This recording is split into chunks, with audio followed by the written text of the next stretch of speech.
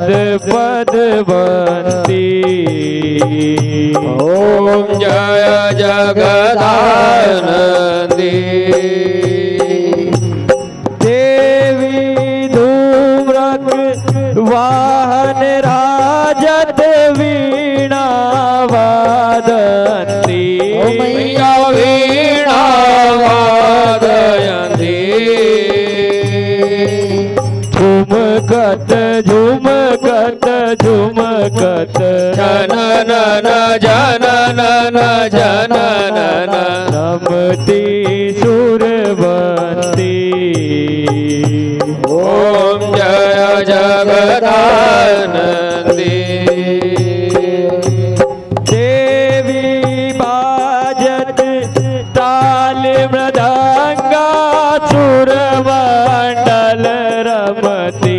मैया सुर मंडल रमती।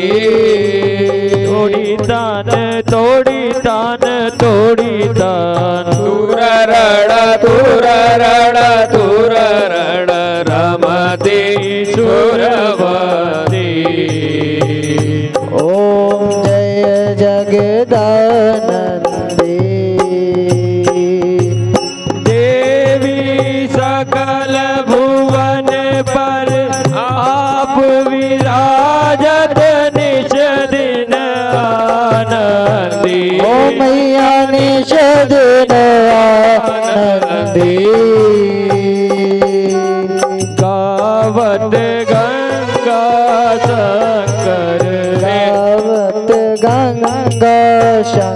शंकर। सेवत रेवा शंकर। सेवक रेवा शंकर। तुम भव में ओमकारेश्वर के दक्षिण तट से आगे बढ़ेगी। ओमकारेश्वर तीर्थ। बड़ा पावन तीर्थ है।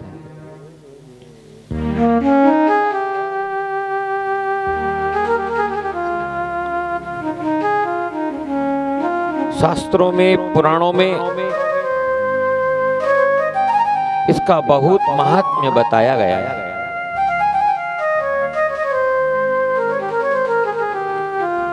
ओमकारेश्वर से जब हम यात्रा को प्रारंभ करते हैं तो आठ मील की दूरी पर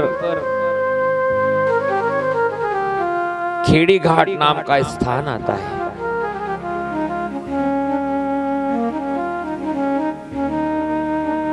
यहाँ राजराजेश्वर भगवान शिव जी का स्थान है। उनका दर्शन करके आगे जाते हैं। तो गोमुख घाट आता है। यहाँ नीलकंठेश्वर महादेव की स्थापना की गई है और नीचे नील गंगा का कुंड है।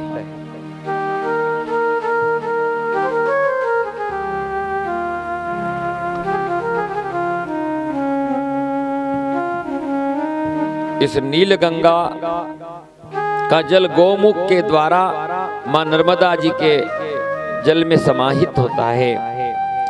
गंगा और नर्मदा का संगम होने से इस तीर्थ का बड़ा महात्म्य बताया गया है। यहाँ हमारे पूर्वजों के निमित्त पिंडदान, तर्पण इत्यादि जो कर्म करते हैं, हमारे पितृ जिस लोक में होते हैं, वे सीधे शिवलोक को चले जाते हैं।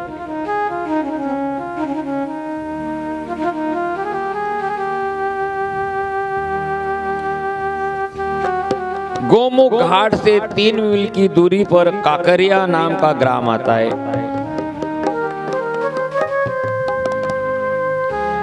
यहाँ पर गंगेश्वर महादेव विराजमान है।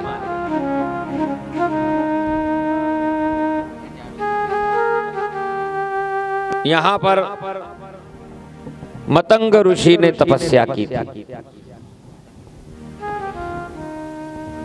महाराज युधिष्ठिर ने मारकंडे ऋषि को प्रणाम करके प्रश्न किया, मुनिवर, आप हमें इस तीर्थ के बारे में विस्तार से समझाओ। यहाँ पर गंगेश्वर भगवान शिव जी क्यों प्रकट हुए? और मतंग ऋषि ने किस हेतु यहाँ पर तपस्या की? इसकी क्या कथा है? आप हमें श्रवण करवाए।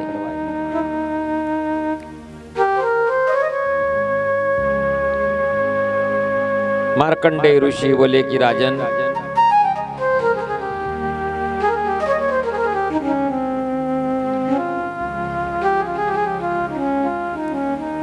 महर्षि मतंग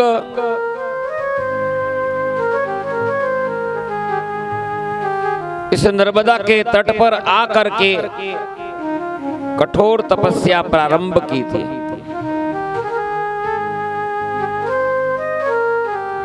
एक समय ऐसा अवसर आया, कुछ ऋषिगण, मतंग ऋषि को दर्शन हेतु पधारे।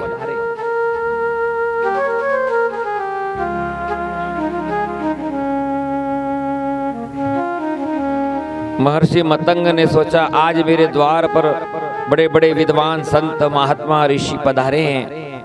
इनका आतिथ्य सत्कार करना चाहिए। सबको आसन दे करके बिठाया, सबको प्रणाम किया। और निवेदन किया कि, हे ऋषिवरो, आज आप मेरा आतिथ्य सत्कार स्वीकार करें। ऋषियों ने कहा कि, भगवान हमारा नियम है, हम प्रतिदिन गंगा स्नान करते हैं।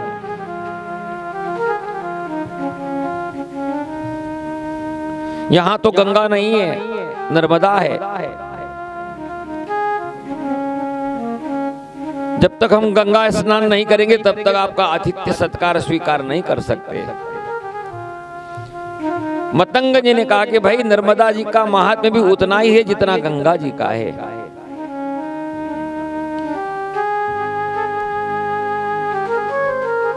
गंगा जी के जल में स्नान करने से पुण्य की प्राप्ति होती है, परंतु नर्मदा के दर्शन से ही सब पाप धुल जाती है। तो आपने दर्शन कर लिए, मानो नर्मदा जी का। समझो कि गंगा जी का इस जल में स्नान हो गया। और आप यहाँ नर्मदा जी में डुबकी लगाओ और प्रेम पूर्वक मेरा अतिथ्य सत्कार स्वीकार करो। ऋषियों ने कहा, नहीं महात्मा जी,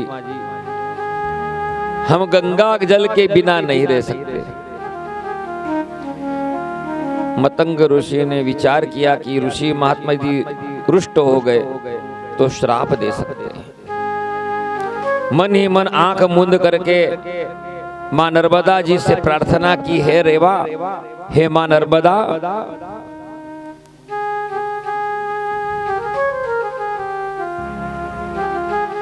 अब मैं धर्म संकट में आ गया हूँ। मेरी नैया तेरे हाथ में है। अब मुझे ऐसा कुछ उपदेश करो जिससे महात्मा रुष्ट न हो और मेरा आतिथ्य सत्कार स्वीकार कर ले। माँ नर्मदा ने मतंग ऋषि की प्रार्थना को स्वीकार कर लिया और माँ गंगा का आह्वान किया तो वहाँ बीच में से गंगा की धार निकल आई। और जैसे ही धार निकली तो गंगा जी के जल में सब ऋषियों ने स्नान कर लिया।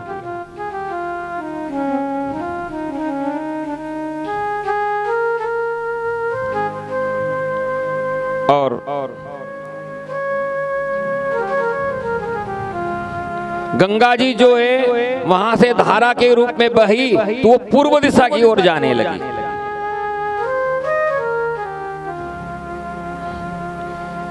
सब ऋषि महात्माओं ने गंगा जी के जल में स्नान किया, आतिथ्य सत्कार करा के वहाँ से विदा हो गए। मतंग ऋषि ने कठोर तपस्या के द्वारा भगवान शिव जी को प्रसन्न किया और वहाँ गंगेश्वर महादेव की स्थापना करके मतंग ऋषि भी वहाँ से चले गए।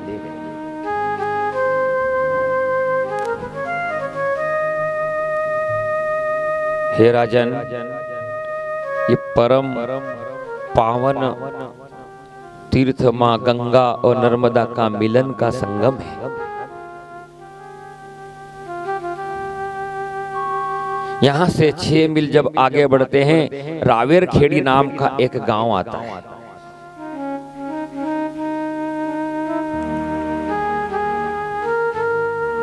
यहाँ पर प्रथम बाजीराव पेशवा जी की समाधि है।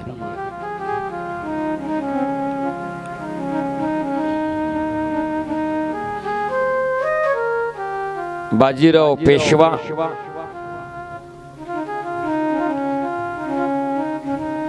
उत्तर भारत में युद्ध करने के लिए जब इधर से जा रहे थे तो यहाँ पर विश्राम किया था। तो उस रात्रि को पेशवा जी को माँ नर्मदा ने दर्श दिया था स्वप्न में। महाराज, पेशवा ने माँ नर्मदा से यही आशीर्वाद मांगा कि मैं युद्ध करने के लिए जा रहा हूँ तो मुझे युद्ध में विजय प्राप्त हो।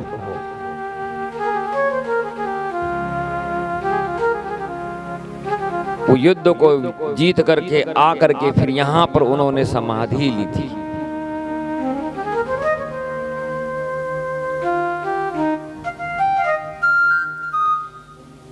रावेर खेड़ी घाट से लगभग एक मील आगे खड़क नदी का संगम है। और यहाँ से आगे चलते हैं तो मर्दाना नाम का गाँव आता है। यहाँ का राजा मयूर ध्वज था जिसे हम मोर ध्वज भी बोलते हैं।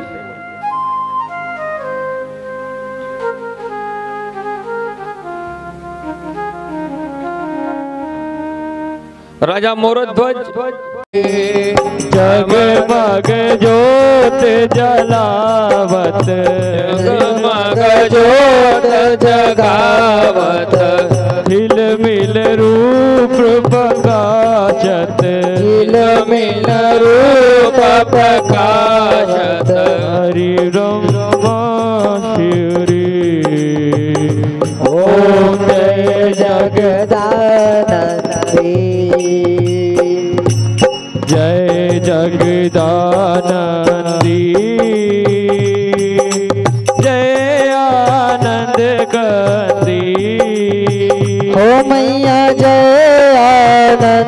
आनंद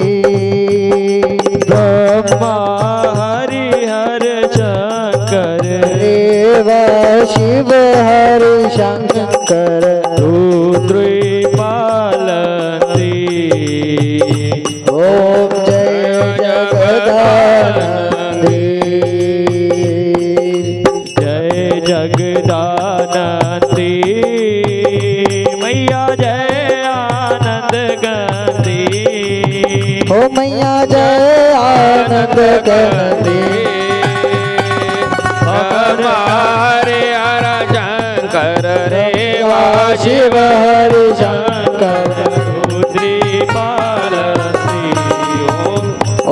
जय जगदानंदी कदली गर्भ संबुदम कर्पूरञ्च प्रदीपितम् पश्य मे वरदो भव। आरार्तिकं शिथिलीकरणम् आत्माभिवन्दनं, देवाभिवन्दनं लोकाभिवन्दनम् मन्त्रपुष्पाञ्जलिं समर्पयामि, यज्ञेन यज्ञमयजन्तदेवस्तानि धर्माणि प्रथमाण्यासन्न, तेहनाकं महिमान सचन्त्र यत्र पूर्वे साद्याः सन्ति देवाः। एकदन्ताय विदमहे वक्रतुण्डाय धीमहि तन्नो दन्ती प्रचोदयात् रुद्रदेहाय विदमहे मेघलकन्याय धीमहि तन्नो रेवा प्रचोदयात्। मन्त्रपुष्पाञ्जलिं समर्पयामि।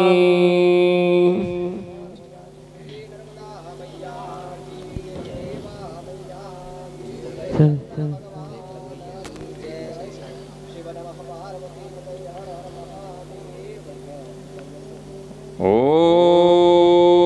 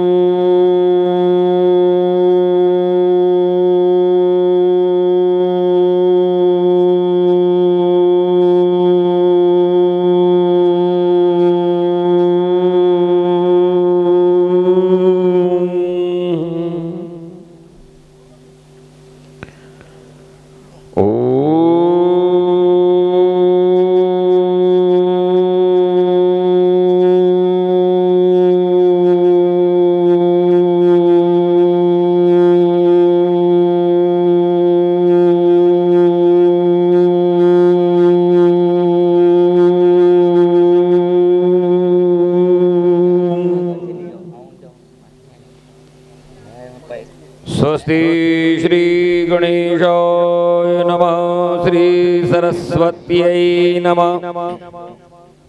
श्रीसद्गुरुभ्यो नमः। वक्रतुण्डमहाकाय सूर्यकोटि समप्रभ निर्विघ्नं कुरु मे देव। सर्वकार्येषु सर्वदा। गणनाथ सरस्वती रविशुक्रबृहस्पति पञ्चेतान् संस्मरे नित्यं। वेदवाणीं प्रवर्तयेत् गुरुर्ब्रह्मा, गुरुर्विष्णु, गुरुर्देवो महेश्वरा गुरुर्साक्षात् परब्रह्म। तस्मै श्रीगुरुवै नमः। विघ्नेश्वराय वरदाय सुरप्रियाय लम्बोदराय सकलाय जगद्दिताय नागाननाय श्रुतियज्ञविभूषिताय गौरीसुताय गणनाथ नमो नमस्ते शुक्लां ब्रह्मविचारसार परमां माद्यां जगद्व्यापिनीं वीणापुस्तकधारिणीम् अभयदां जड्यन्धकारापहां हस्ते स्फटिकमालिकां विदधते पद्मासने संस्थिताम् वंदे त्वां परमेश्वरीं भगवतीं बुद्धिप्रदां शारदाम्। ॐ नमः पुण्यजले देवी। नमः।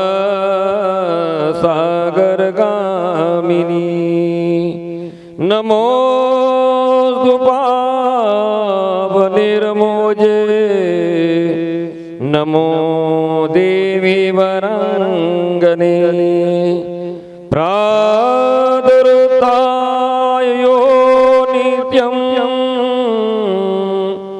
नर्मदावभावसंयुध मन्त्रमेन पठेत्तात सस्नानं फलमश्नुदे नमोऽस्तु ते ऋषिगणसिद्धसेविते विशेषतः त्रिपुरहर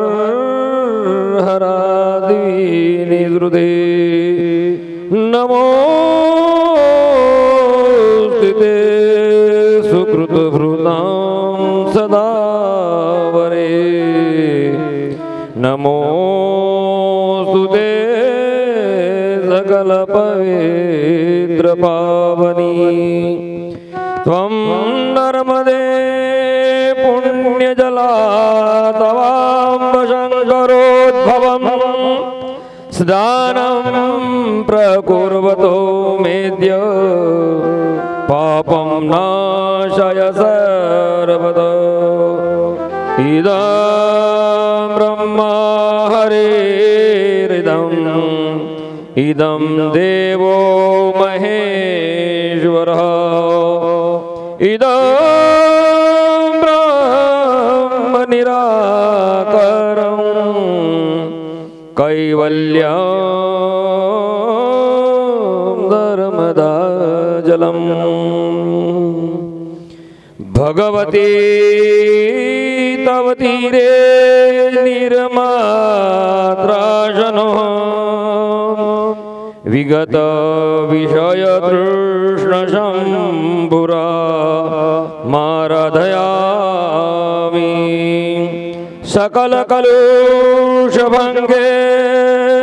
स्वर्गसोपानसङ्गे तरल तर तरङ्गे नर्मदे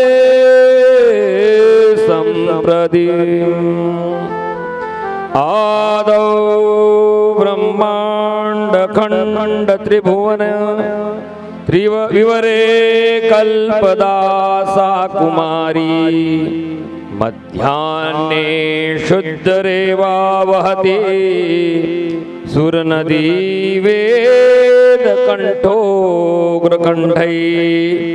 श्रीकण्ठे कन्यरूपा ललित शिवजटा शङ्करी ब्रह्मशान्ति। सा देवी वेदगङ्गा ऋषिकुलतरणी नर्मदा माँ पुनातु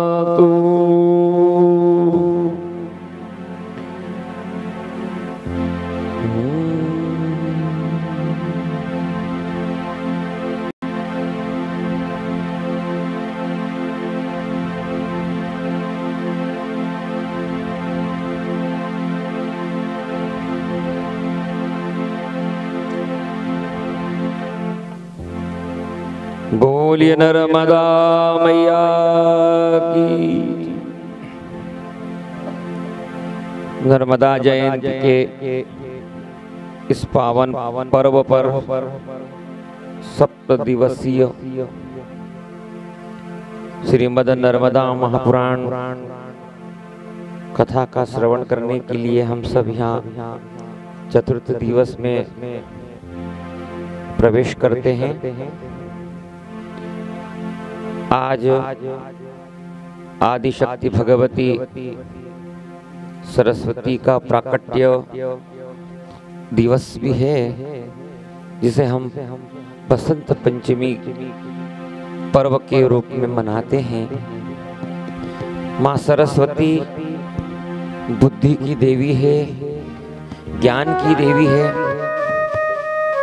और हम सबको ज्ञान भगवती सरस्वती ही देती है।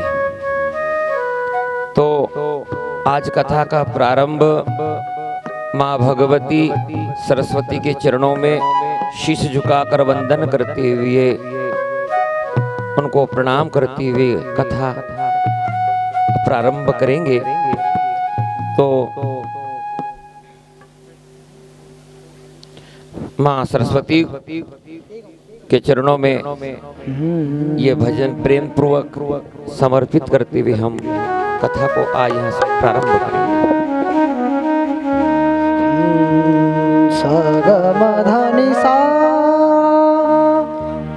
सा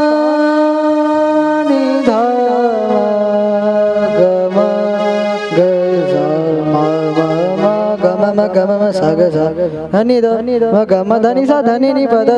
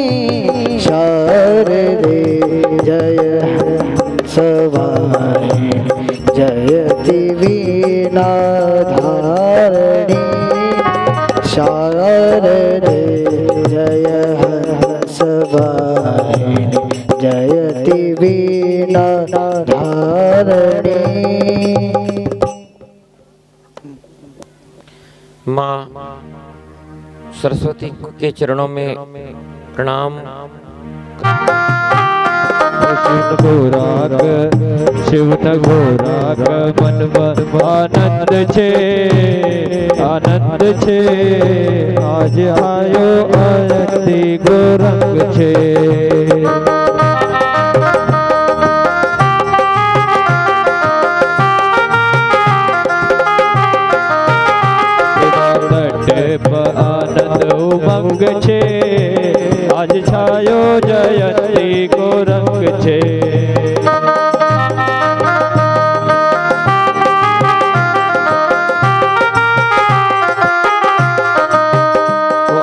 छायो नंद ही आनंद छे।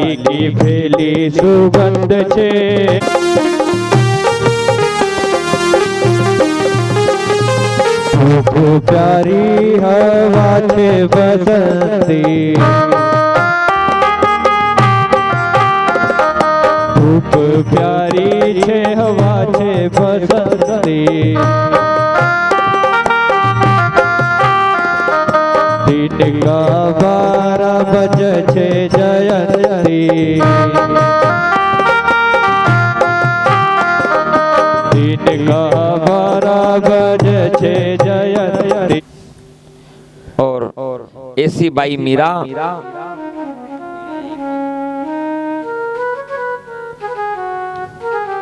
भगवान भक्ति करके भगवान के गोलोक धाम में कलयुग में गई। हो मोहन आवो तो शरी गिरधर आवो तो शरी माधवरा मंदिर में मेरा भाई एकली खड़ी। उधर आओ तो सही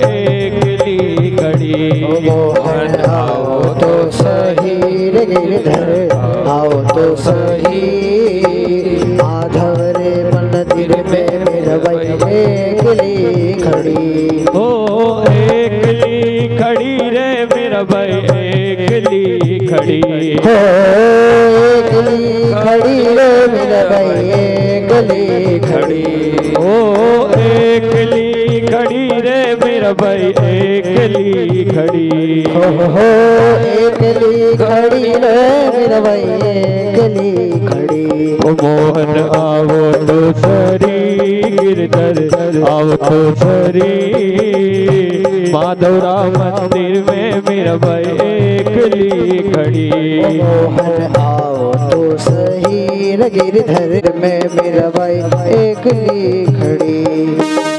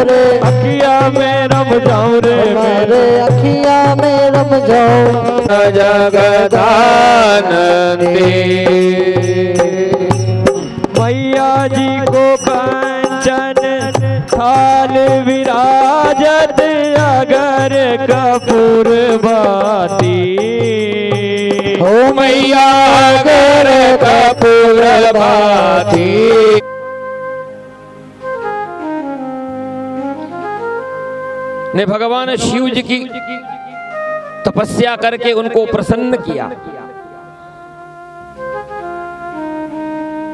भगवान शिव जी ने दर्शन दिए। और कहा कि वत्स, वर मांगो। राजा मयूर ध्वज ने कहा, प्रभु, आप मेरे नाम से यहाँ पर स्थापित रहकर भक्तों की पीड़ाओं को हरण करो।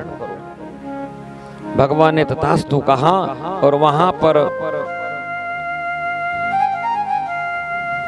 मयूरेश्वर शिव जी की स्थापना करके मोरध्वज राजा भगवान के कैलाश को चला गया।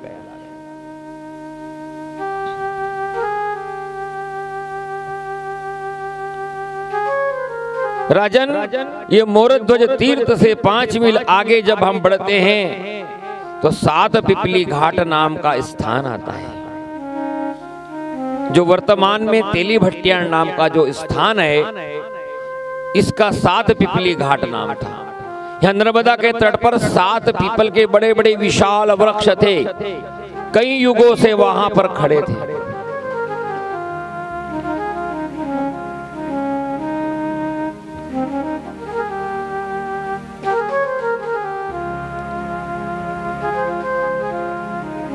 मार्कंडे ऋषि कहते कि राजन यहाँ की कथा भी सुनो बड़ी प्रसिद्ध कथा है।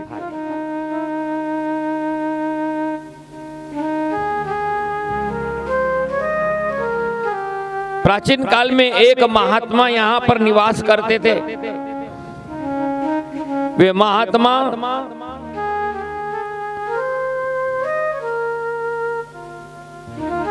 परम ज्ञानी थे। उन्होंने एक विशाल यज्ञ का आयोजन किया।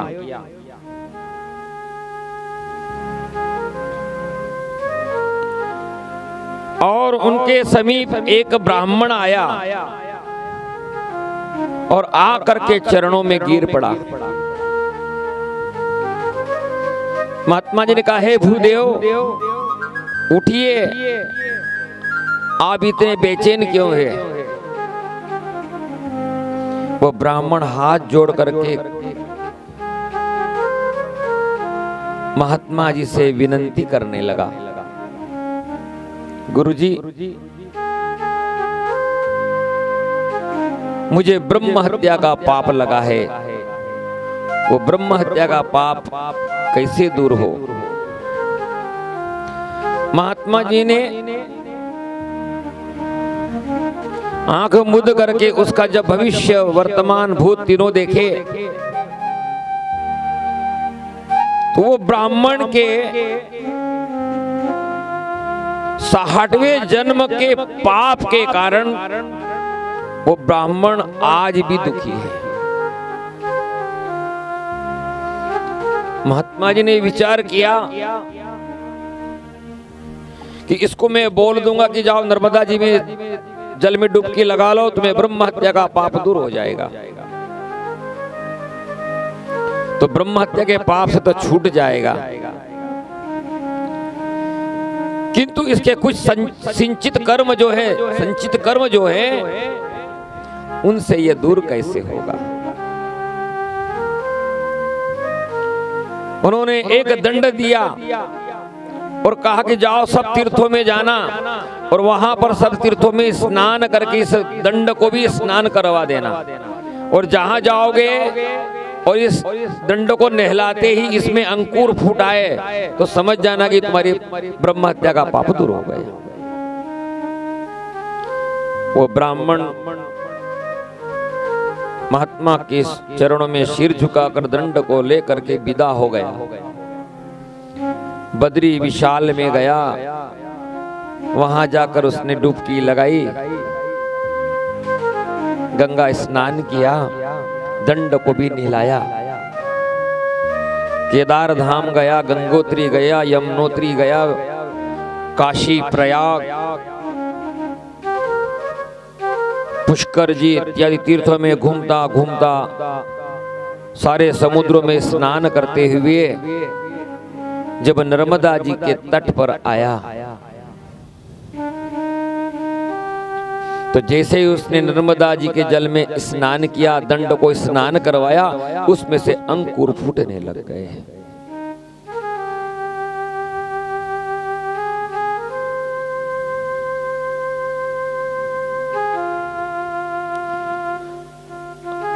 वैसे ही वो दंड को लेकर के गुरु जी के पास गया। भगवान स्वरूपी उन संत महात्मा के चरणों में साष्टांग प्रणाम किया। और अपने इस जीवन का सफल बनाने का मंत्र गुरु जी से प्राप्त किया। गुरु दीक्षा प्राप्त करके वह ब्राह्मण देवता नर्मदा के तट पर यहीं पर बैठ करके भगवान शिव की उपासना करने लगा। रेवा तट पर आनंद उमंग छे। हो आज छायो जयंती गोरंग छे। पुरवा तट प आनंद उमंग छे। आज छायो जयंती गोरख छे। पुरवा आनंद उमंग छे। वे तो छायो प्रसाद पंचमंग छे। पुरवा तट प आनंद उमंग छे। आज छायो जयंती गोरख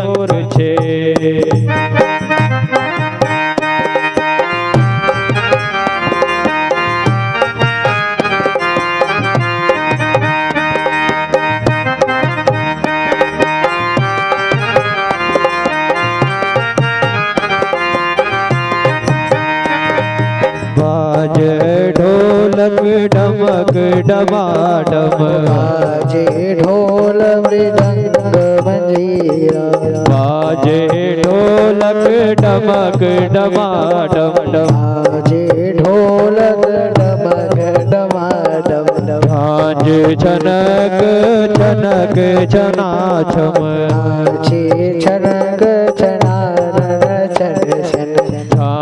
छनक छनक छन छना सात खंजरी का, सात खंजरी का सात खजरी का फड़क जंग छेरे जंग छेरे, आज छायो जयंती को रंग छेरे। छायो जाती बजाना जिसको चाहिए, वो ताली बजाना। बजाना जिसको चाहिए, वो ताली बजाना। बोले नर्मदा मैया की। माँ नर्मदा मुक्त हस्त से देती है।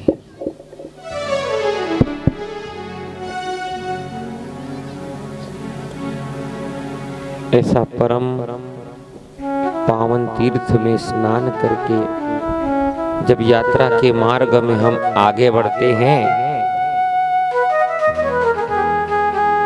तो छह मील की दूरी पर बलगांव घाट नाम का तीर्थ आता है।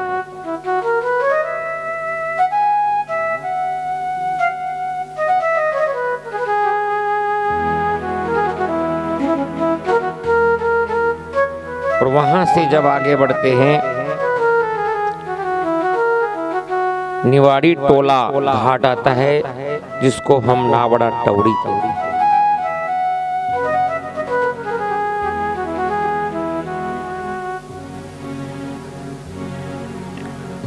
और उससे आगे बढ़ते हैं तो माँ रेवा का सहस्त्र धाराओं में वहन होता है। सहस्त्र धारा में बहती है।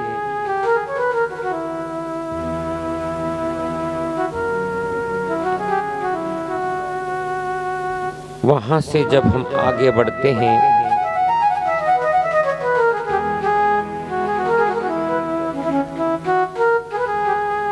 शाटक नदी के संगम पर सटकेश्वर तीर्थ में हम आ जाते हैं।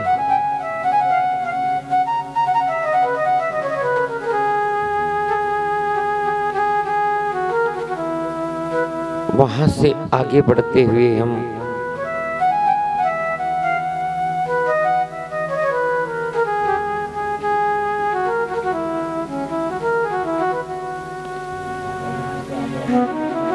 कठोरा नाम का जो गाँव है, वहाँ पहुँच जाते हैं।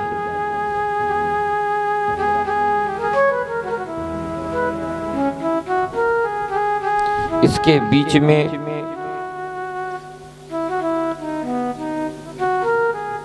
सटकेश्वर और कठोरा के बीच में, जहाँ पर हम बैठ करके माँ रेवा के पुनित चरित्र को श्रवण कर रहे हैं। यहाँ पर स्नान करते हैं।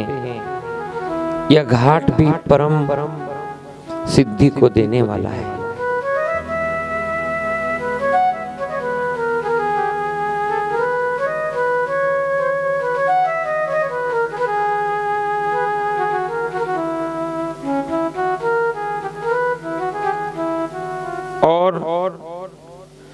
कठोरा के पास में ही ग्यारह लिंग नाम का स्थान है। यहाँ पर एकादश रुद्र प्रकट होकर के माँ नर्मदा को पावन करते हैं।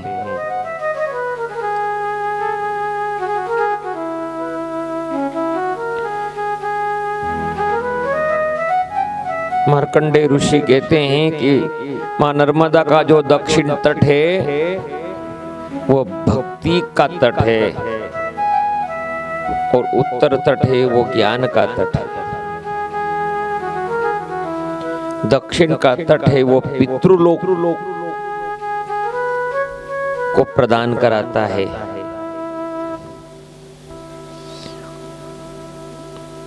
यहाँ पर इस एकादश रुद्र तीर्थ में आकर के राजा रंती देव ने यज्ञ प्रारंभ किया था।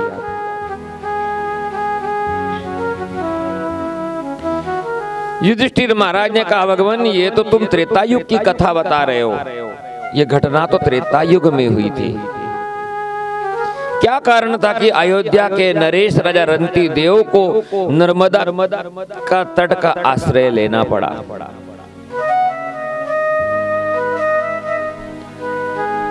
मार्कंडे ऋषि कहते हैं कि राजन, राजा रंती देव बड़े धार्मिक राजा थे। धर्म रक्षा के लिए अपना सब कुछ न्यौछावर कर दिया था।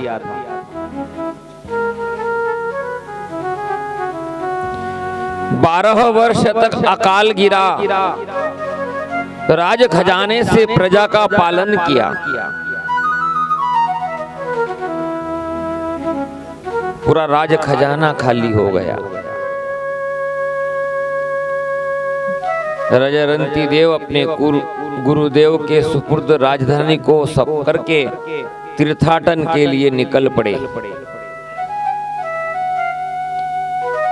एक स्थान पर जा करके मधुकड़ी करी। पाँच घर से भोजन मांग करके लाए परिवार के लिए।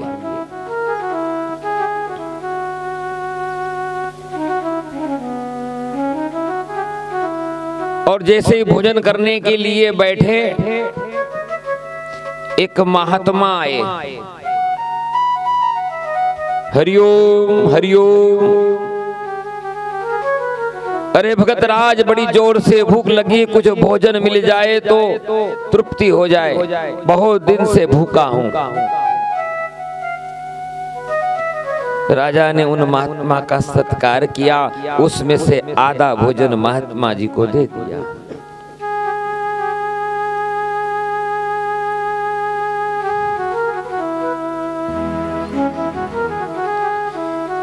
फिर भोजन करने के लिए बैठे महात्मा जी चले गए।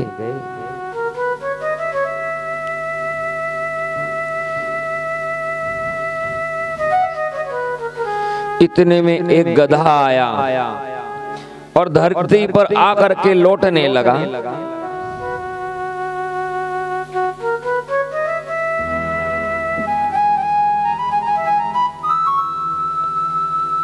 उस गधे को देख करके रजरंती देव ने जो भोजन बचा था उसमें थोड़ा भजन भजन उसको खिला दिया। अपने कमंडल से जल पिला दिया।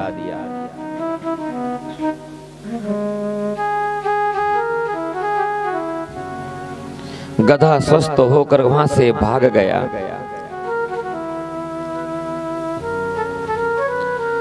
फिर शेष भोजन को लेकर के बांट करके जब खाने लगे, इतने में एक चांडाल आ गया। महाराज रंती देव की जय हो। मैं बहुत दिन से भूखा प्यासा हूँ। कहीं अन्न के दर्शन नहीं हुए। कुछ भोजन मिल जाए तो बड़ी कृपा होगी।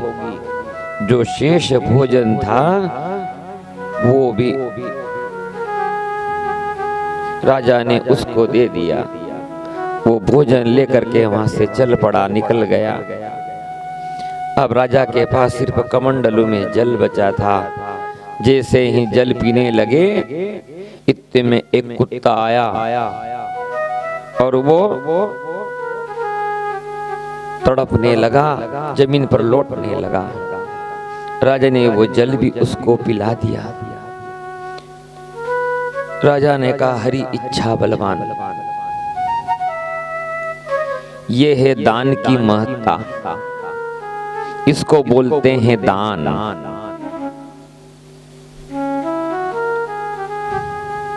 जो कुछ हमें मिला है, वो हमारा नहीं है। सबको बांट कर खाएँगे तो वो धन हमारा बढ़ता जाएगा। मुक्त हस्त से दान करो। राजा रंती देव ने अपना सब कुछ दान कर दिया। जो भोजन मिला था वो भी दे दिया। जो जल था वो भी दे दिया। अब राजा के पास कुछ नहीं बचा। उस उन्होंने भगवान से प्रार्थना की है भगवान आज मेरे भाग्य में एकादशी करने का लिखा है इसलिए मैं एकादशी कर लूँगा। आज मेरे नसीब में भोजन नहीं है। तेरी महिमा निराली है। वहीं पर भगवान शंकर जी प्रकट हो गए। राजा को आशीर्वाद दिया। राजा को आदेश दिया कि तुम यहाँ से दक्षिण तट पर, माँ नर्मदा के तट पर जाओ और वहाँ पर जा करके यज्ञ की तैयारी करो। रंती देव ने कहा, भगवान मुझसे भूल हो गई। ऐसे तपस्वी महात्मा को मैंने असुली पर चढ़ा दिया। अब आप को मैं मुक्त करता हूँ। आपने चोरी नहीं की है। असली चोर तो पकड़ में आ गए। मांडव्य ऋषि के गले से फंदा निकाला। वहाँ से सीधे मांडव्य ऋषि यहाँ पर आए नर्मदा के तट पर और उग्र बड़ा तीव्र तप प्रारंभ किया और भगवान शिव जी को मनाया। शिव जी का आशीर्वाद प्राप्त करके मांडव्य ऋषि भगवान के कैलाश धाम को चले गए। जब से इस तीर्थ का नाम मांडव्य तीर्थ पड़ा।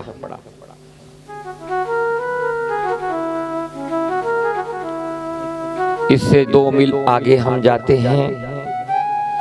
स्वर्ण दीप तीर्थ आता है।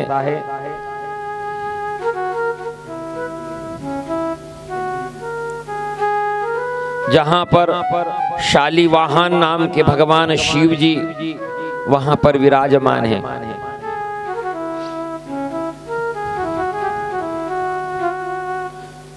और वहाँ से आगे चलते हैं। यहीं पर हिरण्यगर्भा नाम की नदी का संगम माँ नर्मदा के साथ होता है।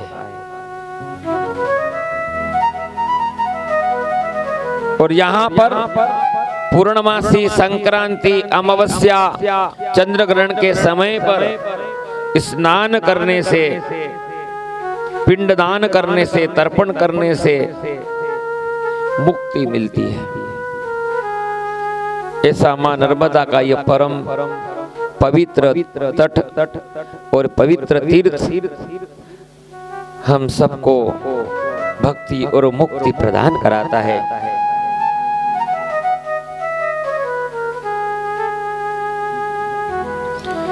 तो सदैव माँ रेवा के गुण गाते जाना चाहिए, माँ रेवा को मनाते जाना चाहिए, माँ रेवा का आश्रय छोड़ना नहीं चाहिए।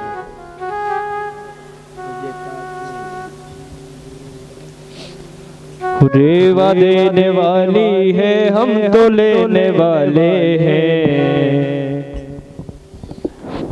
रेवा देने वाली है हम तो लेने वाले हैं। रेवा देने वाली है हम तो लेने वाले हैं। रेवा देने वाली है हम तो लेने वाले हैं। रेवा देने वाली है हम तो लेने वाले हैं। आज खाली हाथ नहीं जाना। आज खाली हाथ नहीं जाना।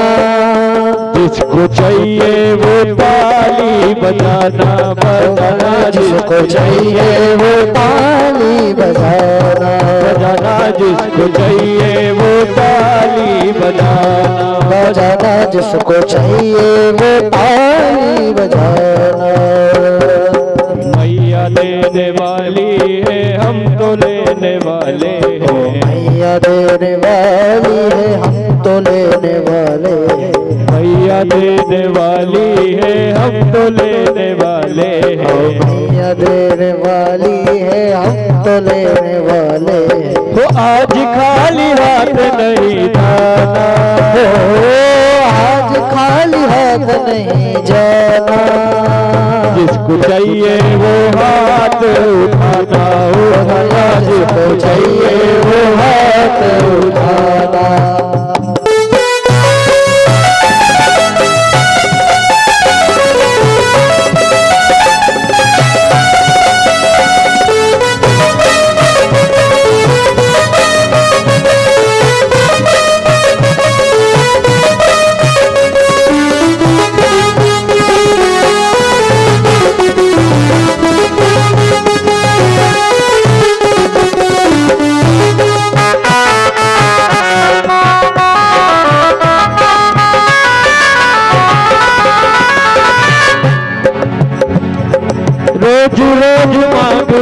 का झंझट ही छोड़ दो रोज रोज मांगने का झंझट भी छोड़ दो जिसे जितना चाहिए वो मैया पे छोड़ दो।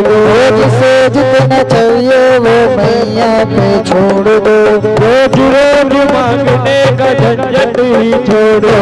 रोज रोज मांगने का झंझट ही छोड़ दो जिसे जितना चाहिए वो मैया पे छोड़ दो। जिसे चाहिए मैया पे छोड़ दो। आज ऐसा मौका है किसने किसको रोका है? आज कितना मौका है किसने किसको रोका है? आज ऐसा मौका है किसने किसको रोका है? आज ऐसा मौका है किसने किसको रोका है? आज खाली हाथ नहीं जाना। आज खाली हाथ नहीं जाना। बिल्कुल दोनों हाथ सीधे। जो जो मैया से मांगना चाहते हैं जिसको चाहिए वो हाथ उठाता वो चाहिए जिसको चाहिए वो हाथ उठाना वो जिसको चाहिए वो हाथ उठाना उठाना जिसको चाहिए वो हाथ उठाना मैया देने वाली है हम तो लेने वाले हैं। मैया देने वाले हैं हम तो लेने वाले भैया देने वाली है हम तो लेने वाले हैं। देने वाली है हम तो लेने वाले हैं। आज खाली आज खाली हाथ नहीं जाना। जिसको चाहिए वो हाथ उठाना। उठाना जिसको चाहिए वो हाथ उठाना। उठाना जिसको चाहिए वो हाथ उठाना। उठाना चाहिए वो हाथ जिसको चाहिए वो ताली बजाना बजाना जिसको चाहिए वो ताली बजाना बजाना जिसको चाहिए वो ताली बजाना बजाना जिसको चाहिए वो ताली बजाना आपका आशीर्वाद, आपका वचन सिरोधारी है। पर मुझे बताओ, आज की तारीख में मेरे पास कुछ भी नहीं है। शिव जी ने कहा, तुम जाओ वहाँ पर, जाकर के बैठ जाओ। मेरी आज्ञा से सब व्यवस्था वहाँ हो जाएगी। वहीं पर एकादश रुद्र प्रकट हुए और राजा रंती देव का यज्ञ संपन्न कराने लगे।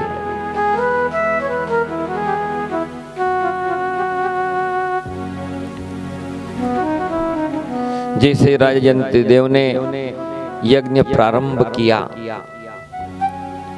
उनके यज्ञ को विध्वंस करने के लिए राक्षस गण आ गए। एकादश रुद्र ने उस यज्ञ की रक्षा की और उस स्थान को चीर करके इस स्थान को नर्मदा के बीचों बीच में स्थापित कर दिया, जहाँ पर कोई दैत्य, कोई राक्षस जा न सके। राजा रंती देव। के यज्ञ समापन होने पर यज्ञ कुंड से एक शिवलिंग निकला, जिसको बिलवामृतेश्वर महादेव कहते हैं।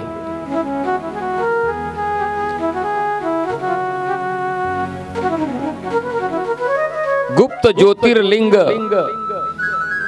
के रूप में भगवान शिव जी प्रसन्न हुए राजा रंती देव को आशीर्वाद दिया और वो दुर्भिक्ष अकाल दूर हो गया। राजा की राजधानी में बड़ा उत्सव मनाने लगे। राजा को खोया हुआ राज्य पुनः प्राप्त हो गया। राजा रंती देव जीवन भर दान करते रहे और अंत में भगवान के कैलाश धाम को चले गए।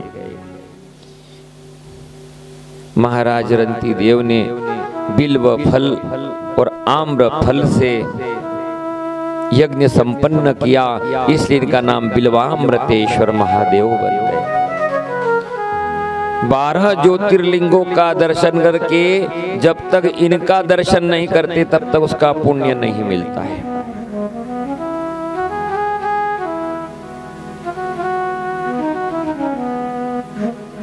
ये मोक्ष प्रदान कराने वाला है।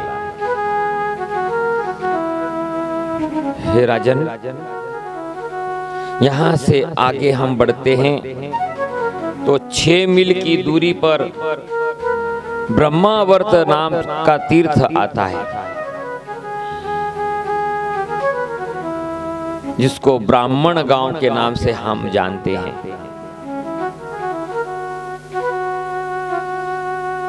इस क्षेत्र का नाम ब्रह्मावर्त क्यों पड़ा? इसकी रेवा खंड में एक कथा आती है महाराज।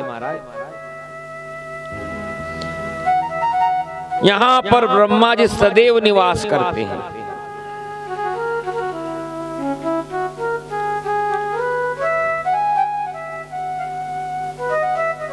और यहाँ पर ब्रह्मेश्वर नाम से शंकर जी है, जो गुप्तेश्वर के नाम से प्रसिद्ध है। ब्रह्मा जी के पाँच मुख थे। जब भगवान के आदेश से सृष्टि की रचना करने के लिए आदेश हुआ तो इनकी पुत्री जो सरस्वती प्रकट हुई थी, वो परम सौंदर्यवान थी। तो ब्रह्मा जी के एक मुख से काम वासना जागृत हुई और अपनी बेटी की तरफ़ कुदृष्टि डालने लगे। शंकर जी को क्रोध आया और इनका सिर धड़ से अलग कर दिया। अपनी बेटी के साथ।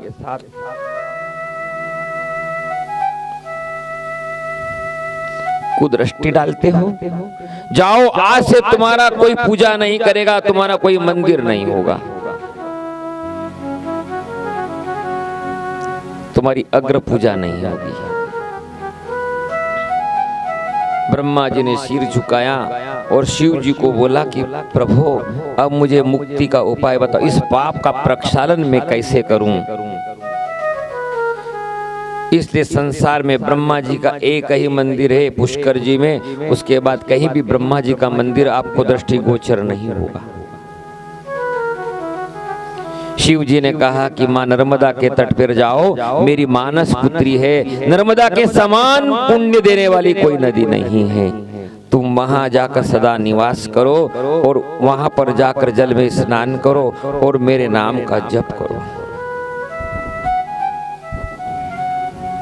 ब्रह्मा जी वहाँ से यहाँ पर आए और यहाँ पर आकर ब्रह्मा जी ने तपस्या प्रारंभ की और गुप्तेश्वर महादेव की स्थापना की।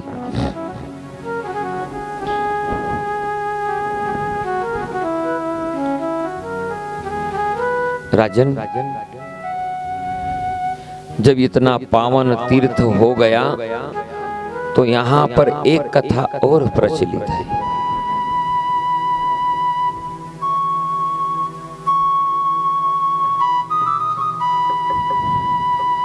इस तीर्थ के समीप ही पत्रेश्वर महादेव की स्थापना की।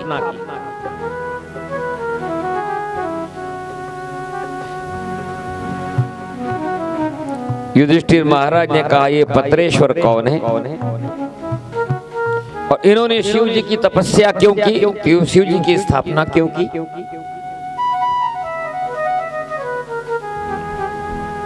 तब वो बोला,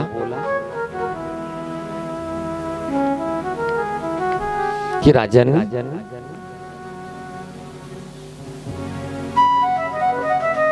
ये पत्रेश्वर चित्रसेन गंधर्व के पुत्र थे। और देवराज इंद्र का परम मित्र था।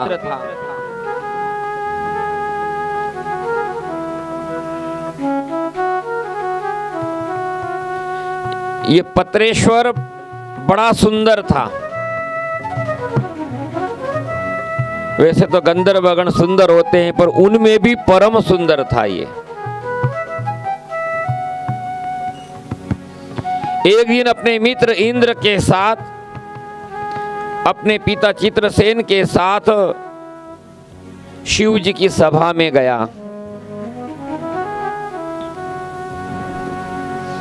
उस शिव जी की सभा में स्वर्ग की परम सुंदर अप्सरा मेनका नृत्य कर रही थी। मेनका के सौंदर्य, रूप, माधुर्य और लावण्य को देखकर पत्रेश्वर उप पे उस पर मोहित हो गया। जब देवराज इंद्र ने देखा कि अरे शिव जी की सभा में यह पत्रेश्वर क्या कर रहा है? उसे समझाया, किंतु इंद्र की बात न मानी। तो इंद्र ने क्रोध में भर करके उसको श्राप दिया कि अरे, तू मृत्यु लोक के मनुष्य की भांति कर्म कर रहा है। जा तुझे मनुष्य योनि में जाना पड़ेगा।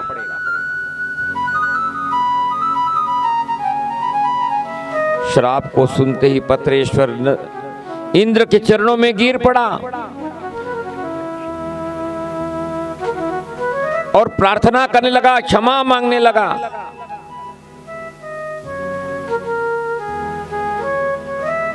तब देवराज इंद्र ने कहा कि, श्राप का फल तो तुमने भोगना ही पड़ेगा मृत्यु लोक में तो जाना पड़ेगा। देखो भैया मृत्यु लोक में शिवता नया माँ नर्मदा है। उनकी महिमा अपार है। तुम उनके तट पर बारह वर्ष तक ब्रह्मचर्य से रहो और शिव जी की आराधना करो।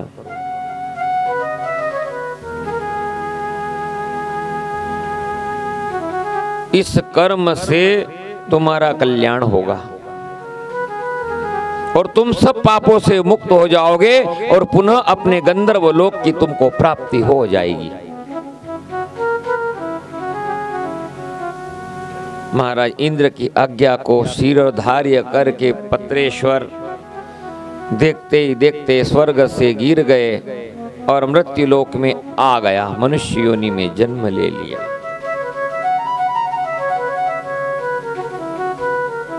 यहाँ पर अपने नाम से शिव जी की स्थापना की और उनकी आराधना, उपासना करने लगा, भक्ति करने लगा।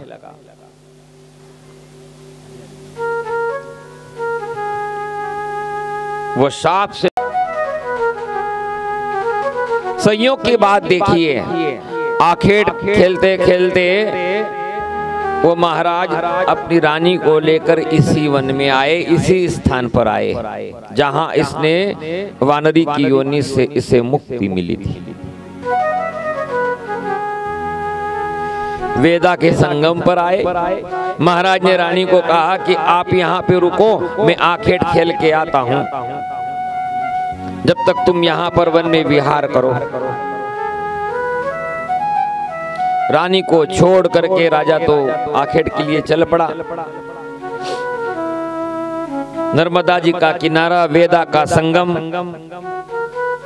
फल पुष्पों से नमित वृक्ष छोटी छोटी पर्वत श्रेणिया, बड़ा अलौकिक दृश्य देखा। रानी आनंद में भरकर इधर उधर उछलने लगी, टहलने लगी। टहलते टहलते उन बांसों के झुंड में चली गई।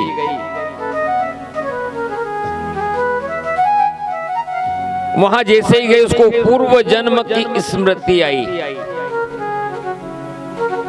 कि मैं पहले वानरी थी, इसी वन में रहती थी और यहीं पर बांसों के झुंड में फंस करके मेरी मृत्यु हो गई। जब रानी ने ध्यान लगाया तो देखा कि मेरा हड्डियों का जो धड़ था वो तो नर्मदा जी के जल में चला गया। किंतु मेरा मुख अभी भी बांसों के बीच में फंसा है ढूँढने लगी। खोजती खोजती उन बांसों के बीच में गई। तो दो बांसों के बीच में वो खोपड़ी कंकाल रूप में फंसी हुई थी। अपने हाथों से निकाला और उसको जल नर्मदा जी के जल में प्रवाहित कर दिया। जैसे ही उसकी खोपड़ी नर्मदा जी के जल को स्पर्श किया, वैसे ही उस रानी का मुख जो है बड़ा सुंदर बन गया। इतने में महाराज वहाँ आ गए। उन्होंने देखा, अरे, पूछा कि, अरे, रानी ये आपका मुख इतना सुंदर, इतना सौंदर्यवान कैसे हो गया? तो रानी ने अपने पिछले जन्म की पूरी कथा महाराज को सुनाई।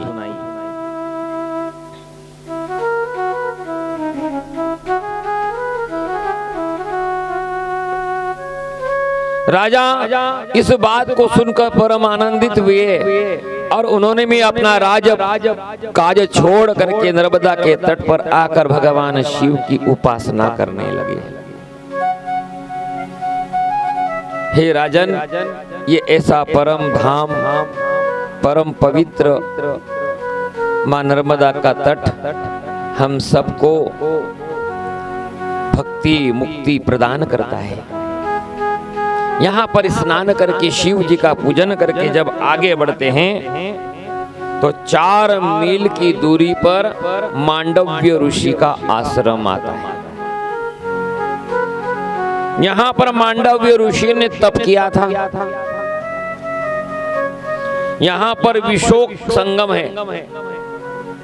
यहाँ विशोकेश्वर शिव जी का मंदिर है।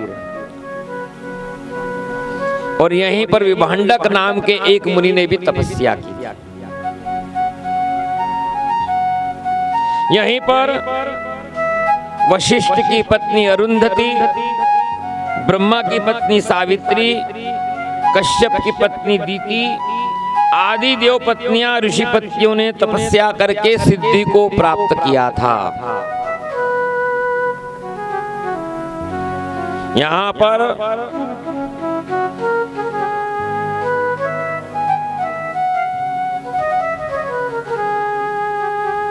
मांडव्य ऋषि ने तप किया था।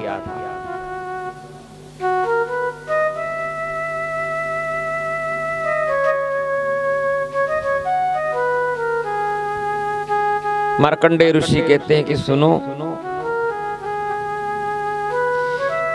एक बार मांडव्य ऋषि। वन में आश्रम बना करके तपस्या करते रहे।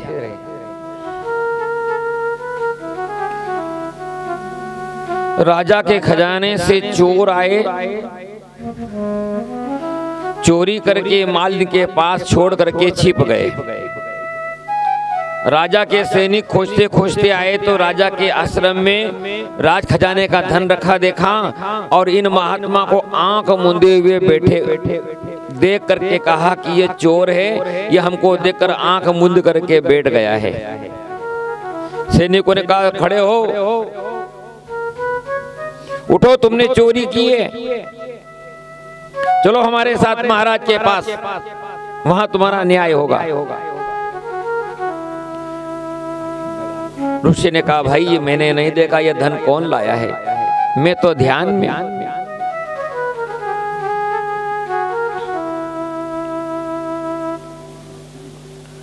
सैनिक नहीं माने, पकड़ करके ऋषि को लेकर के गए राजा के पास। राजा ने कहा कि इन महात्मा को शूली पर चढ़ा दो।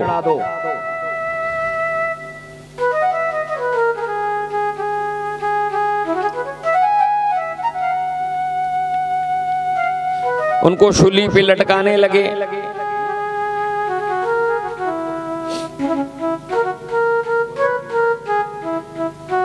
इनके पुत्र थे नारायण।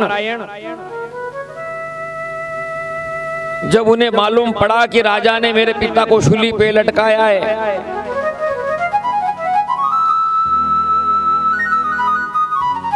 बड़े बड़े ऋषि महात्माओं के साथ नारायण इनके पास आया।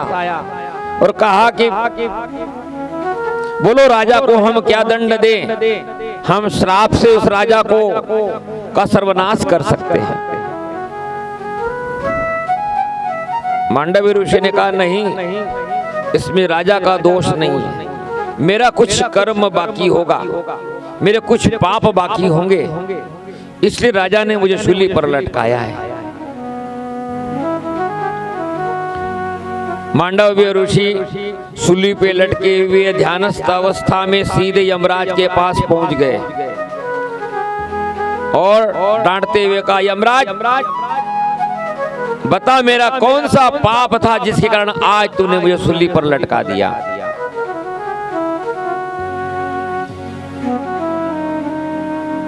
मुझे जहाँ तक पता ही जन्म मैंने ऐसा कोई कर्म नहीं किया जिसके कारण मुझे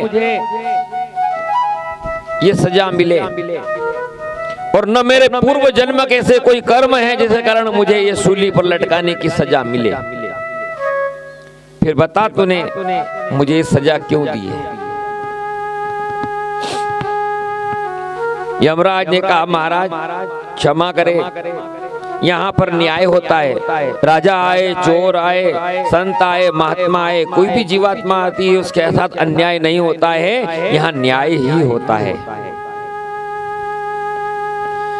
आपने बचपन में खेलते खेलते एक ऋषि के आश्रम में गए थे।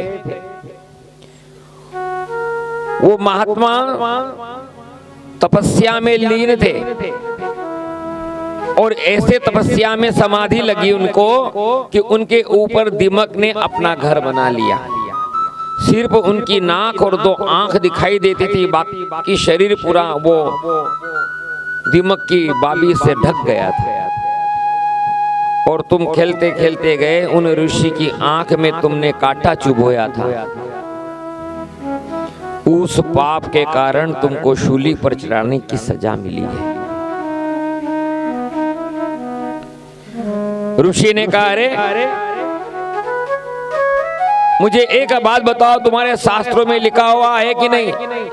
बालक के द्वारा कोई अपराध होता है वो क्षम्य होता है। वो अपराध की सजा नहीं मिलती है। क्यों? बाल बचपन जो होता है बालक होता है वो ना समझ होता है।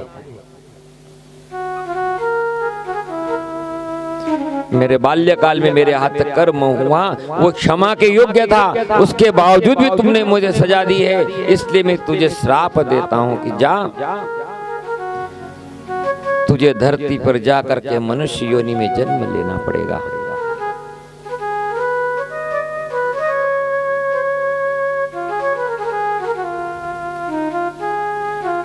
आँख खोल करके देखा, वो राजा लौट करके आया, मांडवी ऋषि से क्षमा मांगने लगा। हे महात्मन, मुझे क्षमा करो। आओ तो सही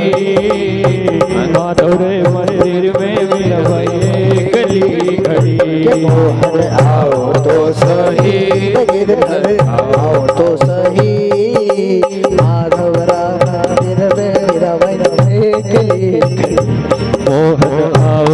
सरी गिरधर आओ तो सरी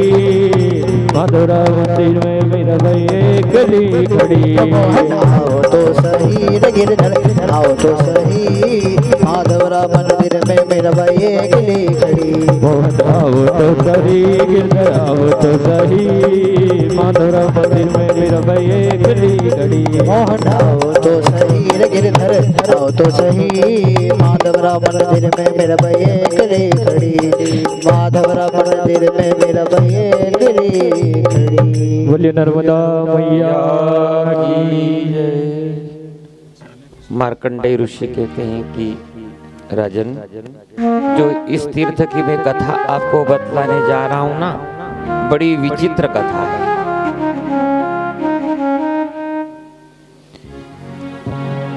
द्वापर युग के द्वितीय चरण में ब्रह्मा जी के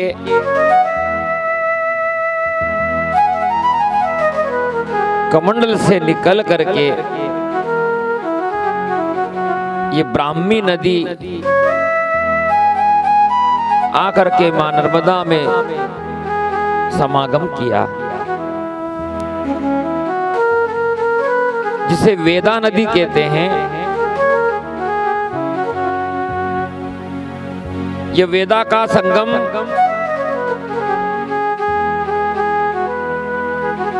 बड़ा पावन और पवित्र करने वाला है।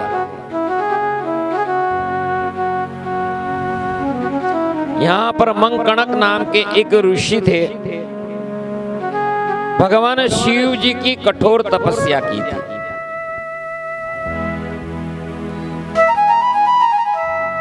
चीर काल तक आराधना करते रहे। जिसके कारण शिव जी की कृपा से भगवान शंकर के विश्व रूप के दर्शन हो गए। और जब से इन्होंने विश्व रूप के दर्शन करे तो इनकी समदृष्टि बन गई। जिधर दृष्टि डालते थे, उधर शंकर जी शंकर जी दिखाई देते थे। भगवान के विश्व रूप के ही दर्शन करते थे। और दर्शन करने के बाद इतने तल्लीन हो जाते थे कि उस रूप को देख करके नाचने लगते थे। तो नाचते रहते तो कई कई दिनों तक नाचते ही रहते थे।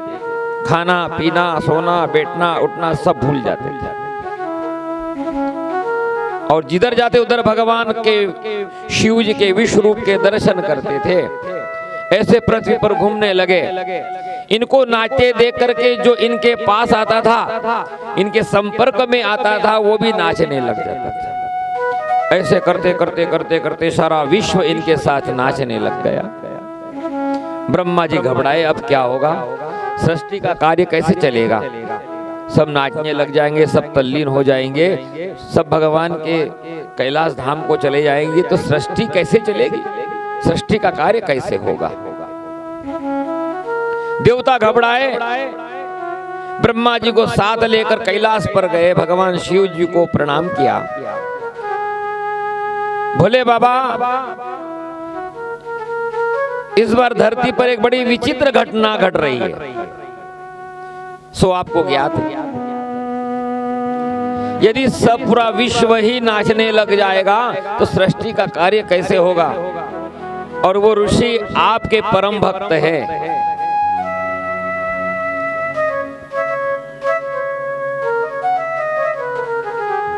तो आप कुछ ऐसा करो जिस इस भक्त को आपका धाम मिले।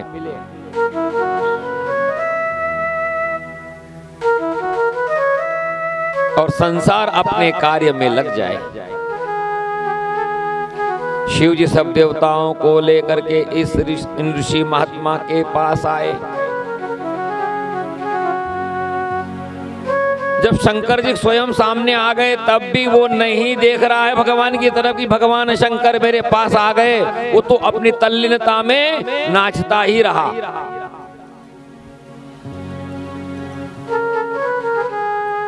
उसके संग में जितने थे, सब नाचने लगे।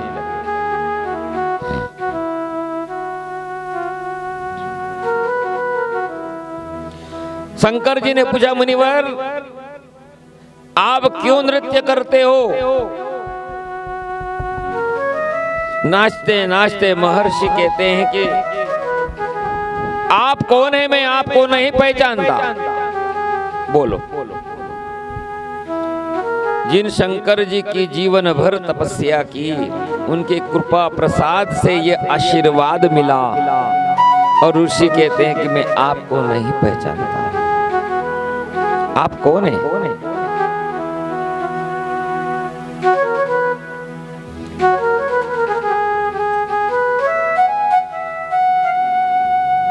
मैं तो अपने शरीर में संपूर्ण विश्व को मान करके आनंद के कारण नाच रहा हूँ। मुझे इस संसार से क्या लेना है, आपसे क्या लेना लेना है? मैं तो अपनी मस्ती में नाच रहा हूँ।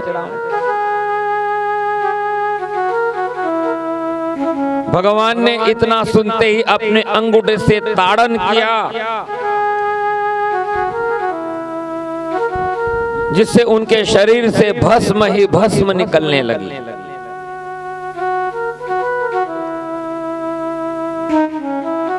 तब ऋषि ने उनको पहचान लिया, प्रणाम किया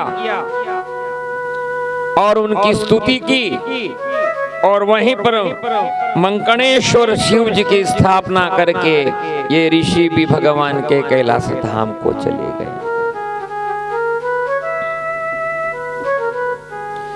इसलिए तीर्थ का नाम सारस्वत तीर्थ पड़ा।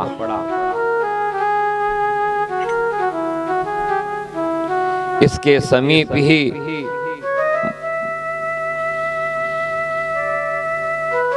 मरकटेश्वर तीर्थ है। युधिष्ठिर महाराज ने कहा कि भगवान, नाम तो बड़ा अटपटा लगता है।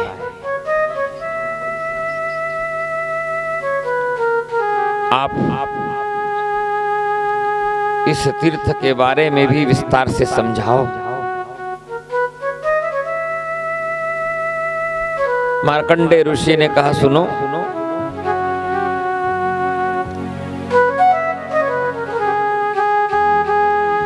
इस वेदा के संगम पर यहाँ के वन में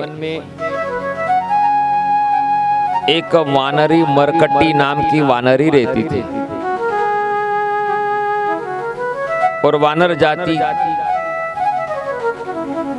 तो वैसे ही चंचल होती है।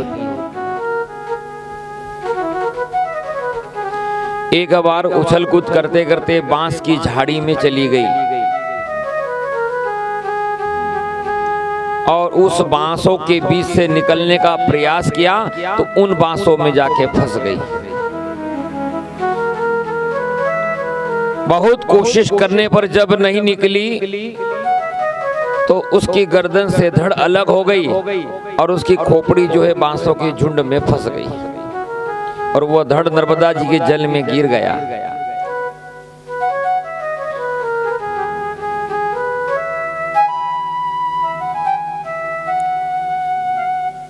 जब उसका शरीर नर्मदा जी के जल में गया तो अगला जन्म उसको राजा के महल में हुआ राजकन्या बन करके आई।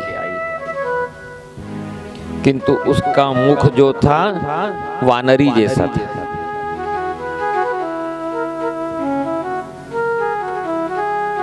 उस नर्मदा के जल का स्पर्श का पुण्य के कारण उसको राजकुल में जन्म हुआ।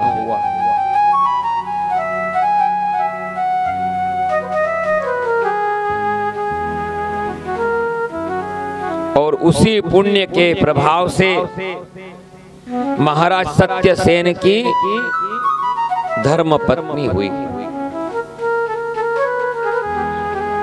शरीर बहुत सुंदर, किंतु मुख उसका वानरी का था।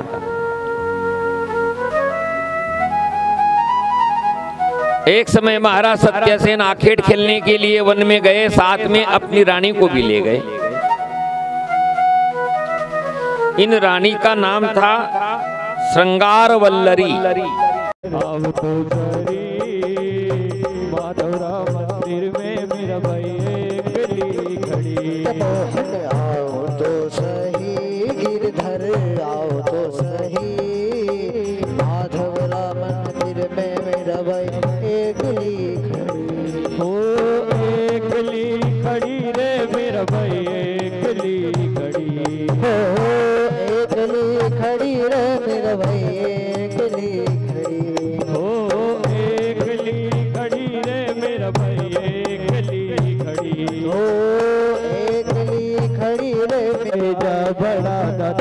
तू। बड़ा है तेरा दाय बड़ा दातार तू। बड़ा है तेरा दाई जा बड़ा दातार तू। बड़ा है तेरा घर जा बड़ा दातार तू। आयो चरण तिहार बोले तार तार हो। आयो शरण तिहार बोले तार तार हो। आयो चरण तिहार बोले तार तार हो। आयो शरण तिहार बोले तार तार हो। कैलाश के निवासी नमो बार बार हो। कैलाश के निवासी नमो बार बार हो। नमो बार बार हो। नमो बार बार हो। आयो चरण तिहार बोले चारी देव हे ब्राह्मण देवता आपको गुरु दक्षिणा में क्या दूँ? आप मांगो, जो मांगोगे वो मैं दे दूँगा। रावण ने विचार किया कि मेरे प्रभु तो तपस्वी वेश में चौदह वर्ष से वन वन भटक रहे हैं। शरीर पर वलकल वस्त्र धारण किए हुए आयुध धारण करके जटा जुट हो करके नंगे बदन, नंगे पैर से वन वन भटक रहे हैं। मेरे प्रभु से मैं क्या मांगू? तो रावण ने क्या मांगा? हे प्रभु यदि गुरु दक्षिणा देना चाहते हो तो मेरे सक, सकल कुटुंब को मोक्ष प्रदान करा देना उनका उद्धार कर देना।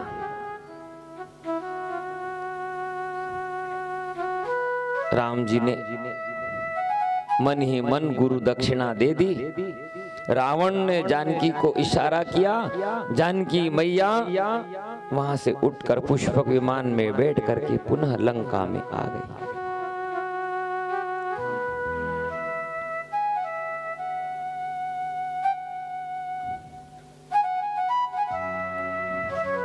इसे बोलते हैं नीति। नियम। और आजकल कभी कोई ब्राह्मण एक लड़की को यहाँ से ले जाए और वो ब्राह्मण कभी गलती से भी गाँव लेकर के समुद्र के तट पर आ गए। अब राम जी की इच्छा है कि यहाँ मैं रामेश्वर की स्थापना करूँ। अपना सुझाव, सुग्रीव आदि सब वानरों को दिया। सबने सहमति दी। राम जी ने रामेश्वर की स्थापना कराने की तैयारी करी, पर राम जी ने कहा कि भाई, इस कर्म को संपन्न करवाने के लिए ब्रह्म देवता की आवश्यकता होती है। तुम ब्राह्मण की खोज करके लाओ, कौन इसकी स्थापना करवाएगा?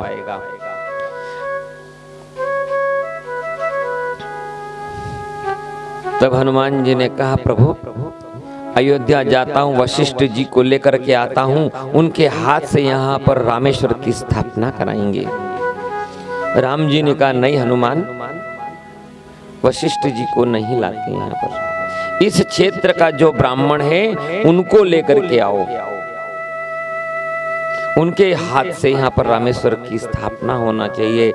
जामवंत ने सुझाव दिया कि, प्रभु मैं एक सुझाव देता हूँ, मेरी दुष्टता को क्षमा करना। गलती हो तो मुझे डांटना मत। इस क्षेत्र में रावण से बढ़ करके कोई ज्ञानी ब्राह्मण नहीं है। जो राम जी का परम शत्रु है, उनकी भारिया को हरण करके ले गया है, और जामवंत क्या बोलते हैं कि उससे ज़्यादा विद्वान ब्राह्मण कोई नहीं है। मेरी सहमति से रावण के हाथ रामेश्वर की स्थापना करवानी चाहिए। राम जी ने कहा कि मैं जाम जी आपने बहुत अच्छी बात कही। किंतु वहाँ जाएगा कौन? क्योंकि पहले ही हनुमान जी जाकर के लंका को उजाड़ आया है। अब कोई दूसरा वानर जाएगा तो रावण उसको हनुमान जी समझ करके बाँध लेगा, बंदी बना लेगा। जामवंत ने कहा, प्रभु, आपकी आज्ञा हो तो मैं जाऊँ क्योंकि रावण मेरा मित्र है। मेरी बात को मानता है।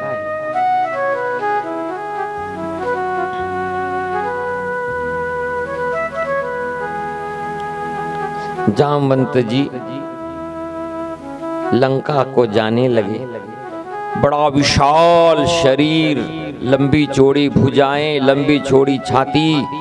ऐसा लगता है मानो काला कोई पहाड़ लंका को डहाने के लिए जा रहा है। जैसे लंका पुरी में प्रवेश किया, द्वारपालों ने जाकर रावण को सूचना दी, महाराज महाराज, कोई एक रीछ आपसे मिलने के लिए नगर में आया है। जामवंत अपना नाम बताता है। रावण ने कहा, जामवंत आया है? अरे, मेरा मित्र आया है। स्वयं उसकी आगवानी करने के लिए रावण आया। सभा में ले गया, बिठाया और कहा कि, कहो, जामवंत कैसे हो? तुम तो राम के अनुयायी हो। मेरे शिविर में कैसे आ गए? क्या रावण राम को छोड़ करके मेरे पास आए हो? रावण ने कहा, नहीं रावण जामंत ने कहा कि, नहीं मित्र रावण, मैं तो तुम्हें आमंत्रण देने आया हूँ। किस बात का आमंत्रण? जामवंत ने कहा कि मेरे प्रभु राम जी, रामेश्वर की स्थापना कर रहे हैं और शिव जी के तुम परम भक्त हो। तुम्हारे से बढ़कर आज संसार में शिव का परम भक्त कोई नहीं है। तुम विद्वान ब्राह्मण हो तो मेरे प्रभु चाहते हैं कि उनकी स्थापना तुम्हारे हाथ से हो। तुम वहाँ के आचार्य बन जाओ।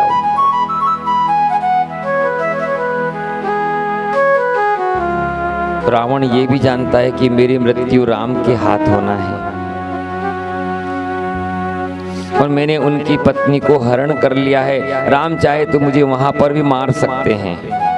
पर वो मर्यादा पुरुषोत्तम। नीति के विरोध कोई काम नहीं करते हैं। नीति के अनुसार चलते हैं। और मैं अज्ञानी हूँ।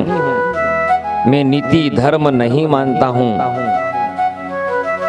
पर मेरे कुल का उद्धार करवाना है तो मैं आज जाकर राम के दर्शन पहले कर लूँ, भरी आँखों से उनके दर्शन कर लूँ। युद्ध में तो मैं उनको शत्रु मानूँगा, मैं राम नहीं मानूँगा। रावण ने कहा, जामवंत जी, ठीक है, मैं नियत समय पर पहुँच जाऊँगा।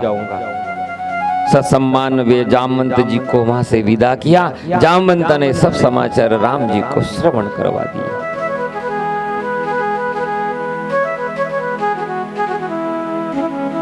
राम जी तैयारी करने लगे।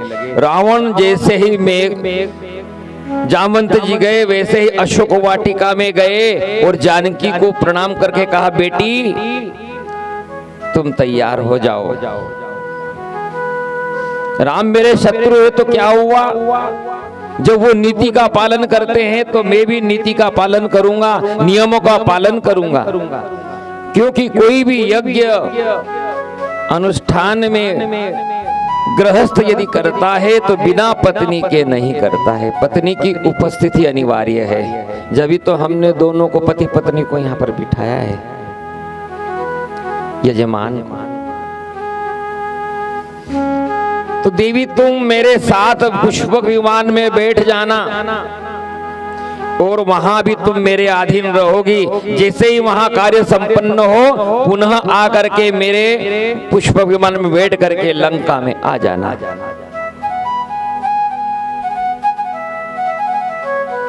मेरा मित्र जामन तो मुझे निमंत्रण देने आया। तो मेरी मित्रता का फ़र्ज़ बनता है कि मैं भी मित्र को अपनी मित्रता से सम्मान करूँ। पुष्पक विमान में बैठ करके जानकी को लेकर रावण पहुँच गया। जानकी को बोला कि तुम पुष्पक विमान से अभी मत उतरना, जब मैं तुम्हें बुलाऊं, तब उतर करके आ जाना। जा करके रावण ने राम को देखा, राम ने रावण को देखा। लक्ष्मण जी की भुजाएँ फड़फड़ाने लगी, आँखों में क्रोध भरने लगा। राम जी ने चुप कर दिया रावण। लक्ष्मण जी को कि रुको भी लक्ष्मण जी चाहते थे इसको यहीं अभी वध कर दूँ और माता जानकी को ला, ले आऊँ। अच्छा मौका है। रावण हमारे पास है। राम जी ने रोक दिया। आसन पर यजमान को बिठाने लगे। तो रावण ने राम से कहा कि यजमान अपनी पत्नी को बुलाओ बुलाओ। क्योंकि पत्नी के बिना तो यज्ञ संपन्न नहीं होगा। राम जी ने कहा कि एक रावण नाम का दुष्ट मेरी पत्नी को हरण करके ले गया है। उस समय राम जी की निगाह में रावण ब्राह्मण के रूप में आया था, आचार्य के रूप में आया था, ब्रह्म देवता के रूप में आया था। भगवान उसको रावण नहीं देख रहे थे कि रावण है और मेरी पत्नी को हरण करके ले गया है। आज मेरे घर ब्रह्म देवता आए हैं। ब्राह्मण आया है आचार्य आए हैं। तो उनका सम्मान एक आचार्य की भांति राम ने किया। कहा कि हे ब्रह्म देवता रावण नाम का राक्षस मेरी पत्नी को हरण करके ले गया है और रावण को मारने के लिए मैंने संकल्प लिया है कि यहाँ पर रामेश्वर की स्थापना करूँगा। और राम जी, रामेश्वर से आशीर्वाद लेकर के रावण को मारने के लिए संकल्पित लेने वाले हैं। हे ब्राह्मण देवता, रावण को मारने के लिए तुम्हें रामेश्वर की स्थापना कर रहा हूँ। रावण ने कहा, यजमान यजमान का संकल्प यदि पवित्र है, पावन है तो मैं भी रावण ब्राह्मण हूँ, मैं आचार्य हूँ। आपने मुझे इस पद पर बिठाया है तो मेरा भी कुछ फ़र्ज़ बनता है। जाओ जानकी को लेकर के आओ, पुष्पक विमान में बैठी है। जानकी माता पुष्पक विमान से उतर करके ज़मीन को देखती देखती राम जी के बगल में आकर के बैठ गई, पर निगाह से राम जी को नहीं देखा उसने। उसने भी अपनी मर्यादा का पालन किया। मैं अधीन हूँ। मैं रावण के अधीन हूँ। मैं राम को कैसे देख सकती हूँ?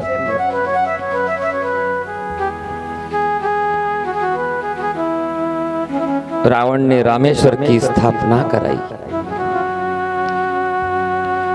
राम जी ने कहा, हे आयो चरण तिहार बोले तार तार हो। आयो शरण तिहार बोले तार तार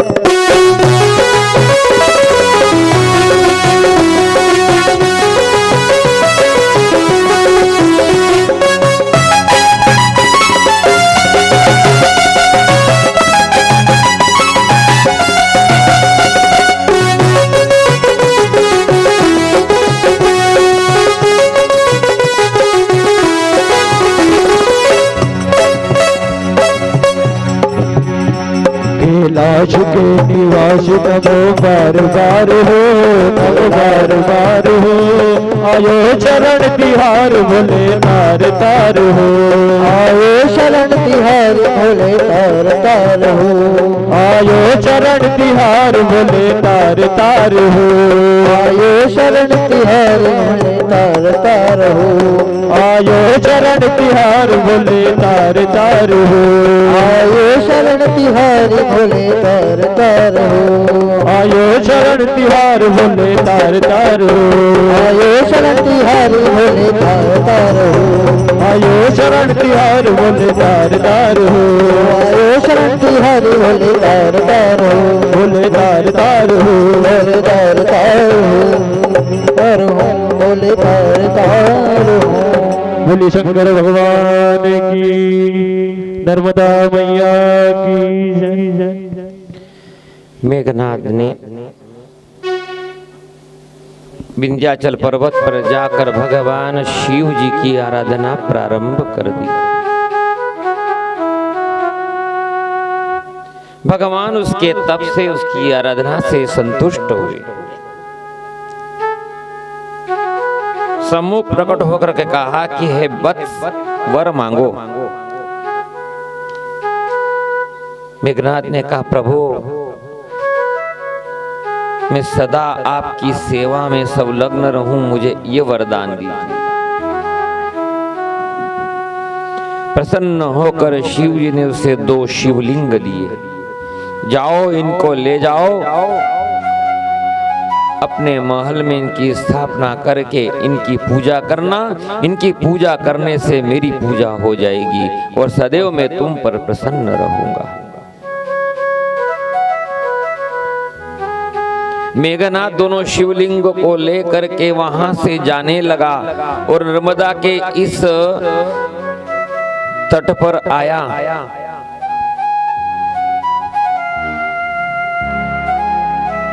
और उसके हाथ से एक शिवलिंग नर्मदा जी के जल में गिर गया।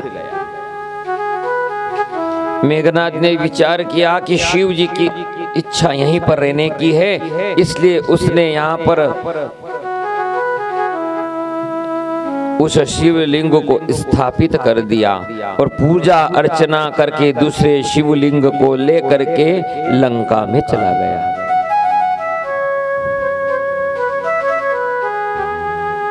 जब से इस तीर्थ का नाम मेघनाथ तीर्थ पड़ गया।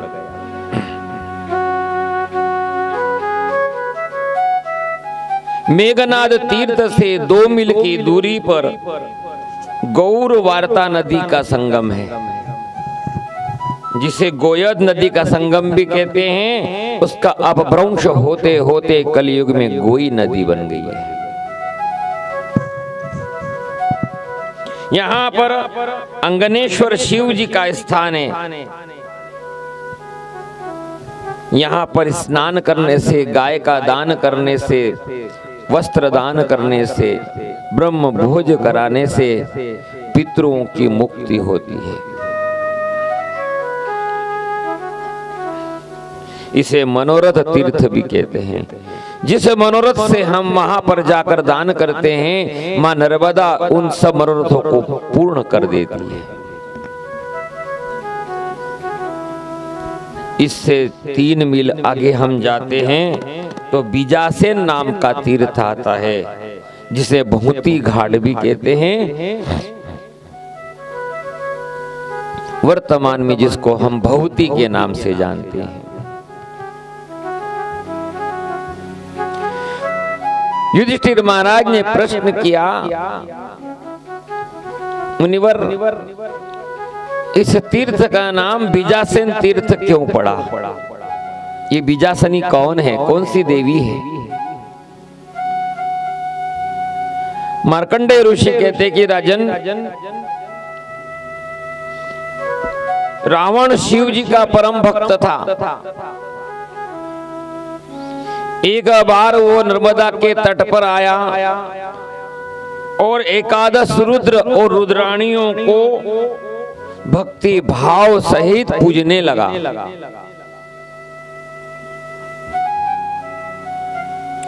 उसके पूजन करने से सब रुद्राणियाँ प्रसन्न हो गई। उन्होंने रावण से कहा, वर मांगो। तो रावण की हज़ार पत्नियाँ थी।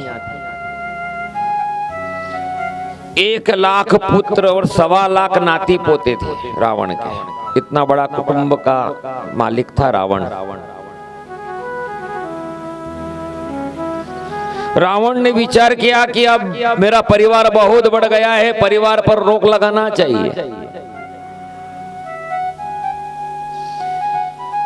तो उन उसने रुद्राणियों के सम्मुख याचना की कि अरे देवियों, यदि आप मुझ पे प्रसन्न हो तो मुझे एक ऐसी पुत्री दो, जो सब स्त्रियों का गर्भ का भक्षण कर जाए।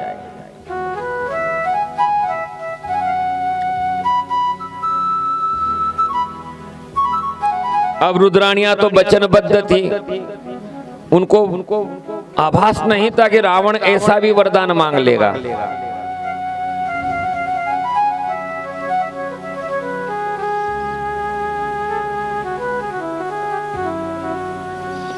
उन रुद्राणियों ने बीजासनी नाम की रुद्राणी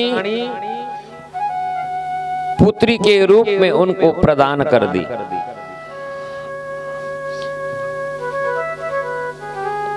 और अपनी पुत्री को लेकर के रावण लंका में गया। जब से बीजासनी देवी वहाँ पर गई लंका में, तब से वहाँ बालक पैदा होना बंद हो गए।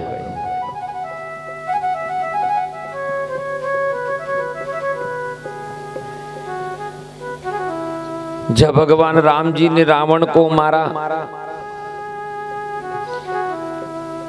तब शंकर जी ने उस बीजासनी से कहा कि देखो, तुमने बहुत सारे पाप कर लिए हैं। अब तुम कैलाश पर नहीं जा सकती। तुमको इस पाप का प्रायश्चित करना पड़ेगा। तुमने अनेक स्त्रियों के गर्भ का भक्षण किया है। इसलिए नर्मदा के इस तट पर जाओ और यहाँ पर रह करके अपने पापों का प्रक्षालन करो। और यहाँ पर रह करके तुम तपस्या करो। जब से ये बीजा बीजासनी देवी लंका से आकर यहाँ पर नर्मदा के तट पर रह करके तपस्या कर रही है और अपने पापों को प्रक्षालन कर रही है, तब से इस तीर्थ का नाम बीजा बीजासनी तीर्थ पड़ गया।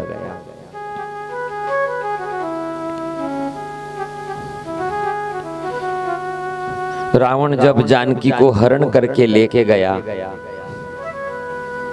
राम जी ने जब जानकी की खोज के लिए वानरों को भेजा, हनुमान जी लंका में गए। तो लंका में जाकर के जब देखा कि ये बीजासनी यहाँ के राक्षसों के बच्चों को मार रही है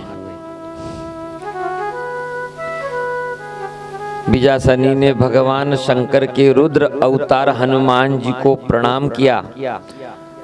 और कहा कि प्रभु, और कितने दिन मुझे इस लंका में रहना पड़ेगा? मेरा मन अब यह लंका में नहीं लगता है, पर मैं वचनबद्ध हूँ। तो शीघ्र इस रावण का विनाश करवाओ और शीघ्र मुझे यहाँ से मुक्ति प्रदान करो। तब हनुमान जी ने कहा, देवी, चिंता मत करो, बहुत शीघ्र ही रावण का वध होने वाला इसका समय अब बहुत नजीक आ गया है।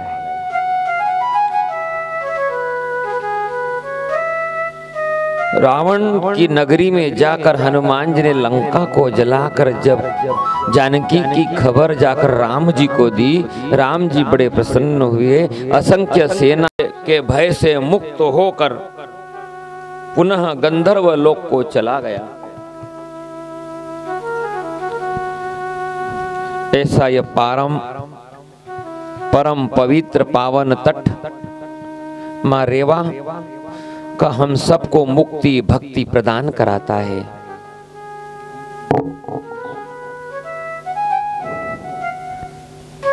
सच्ची है तू सच्चा तेरा दरबार माता रानी ओ सच्ची सच्ची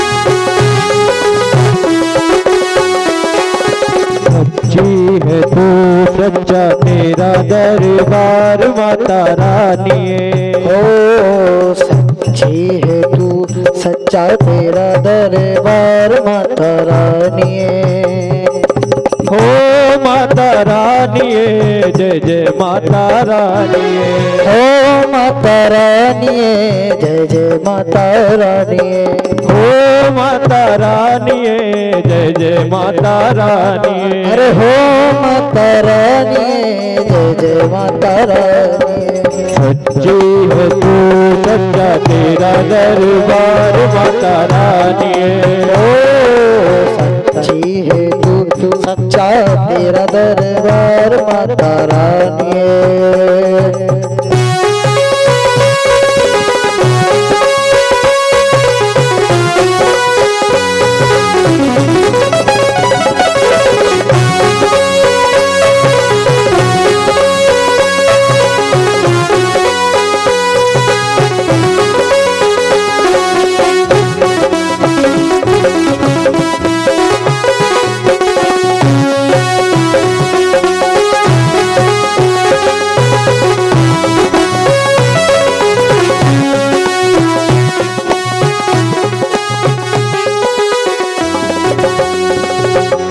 क्या गम है कैसी उलझन जब सर पर तेरा हाथ है। आगम है कैसी उलझन जब सर पे तेरा हाथ है। हर दुख में हर संकट में माता तू हमारे साथ है। हर दुख में हर संकट में।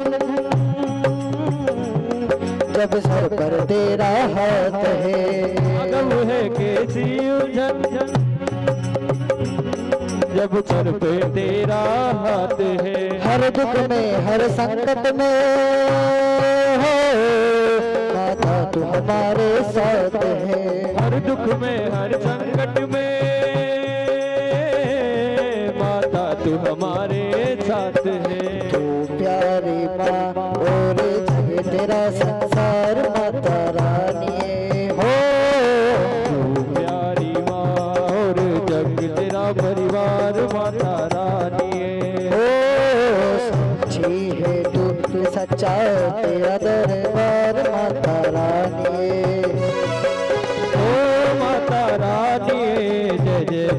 माता रानी हो माता रानी जय जय माता रानी हो माता रानी जय जय माता रानी सच्ची है तू सच्चा तेरा दरबार माता रानी हो सच्ची है तू तू सच्चा तेरा दरबार माता रानी।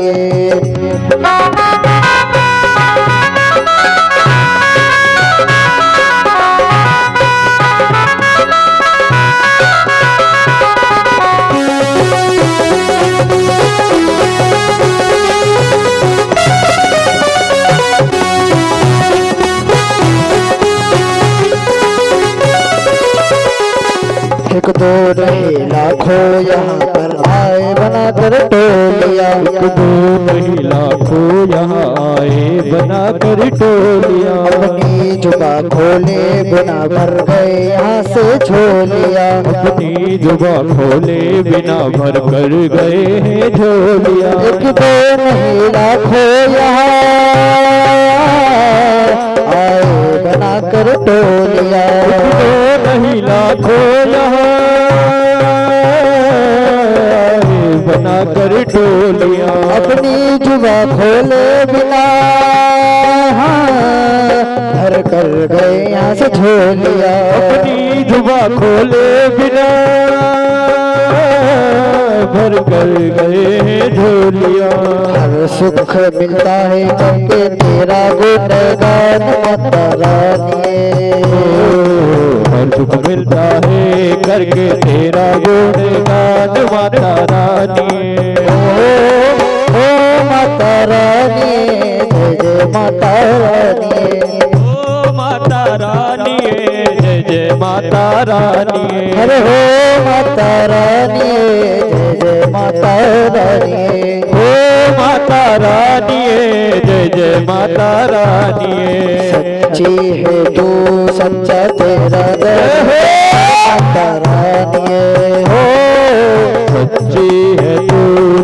तेरा दरबार माता रानी हो।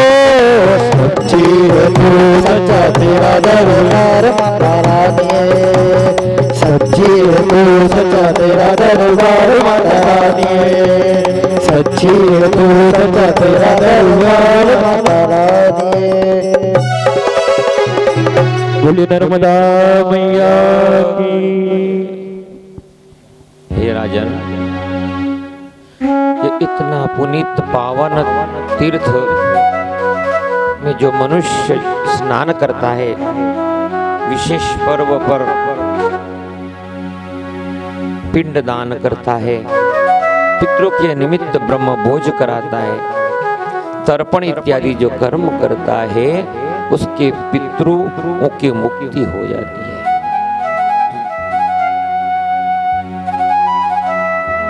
हे राजन, इससे जब हम आगे बढ़ते हैं, छह मील के आगे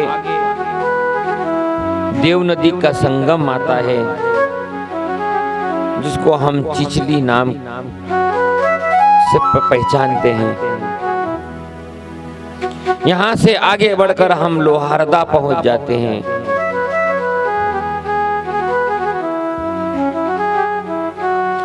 इस तीर्थ का भी बड़ा महत्व है। और यहाँ पर पर्वत पर नर्मदेश्वर, वरुणेश्वर शिव योगेश्वर आदि मंदिर है। और यहाँ पर पांडवों ने वनवास काल में यज्ञ किया था।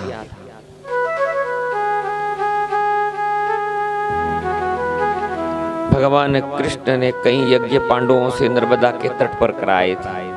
उनमें से एक स्थान ये भी है।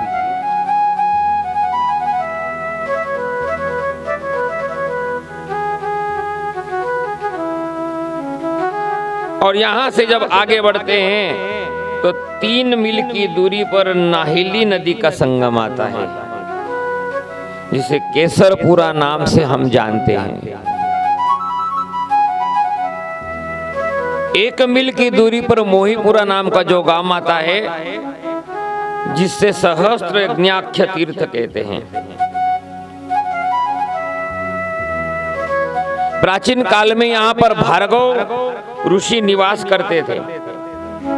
भृगुवंशी जो ऋषि थे, वे यहाँ पर निवास करते थे। और उन्होंने यहाँ पर सहस्त्र यज्ञ किए थे। जब से इस तीर्थ का नाम सहस्त्र यज्ञाख्य तीर्थ पड़ गया।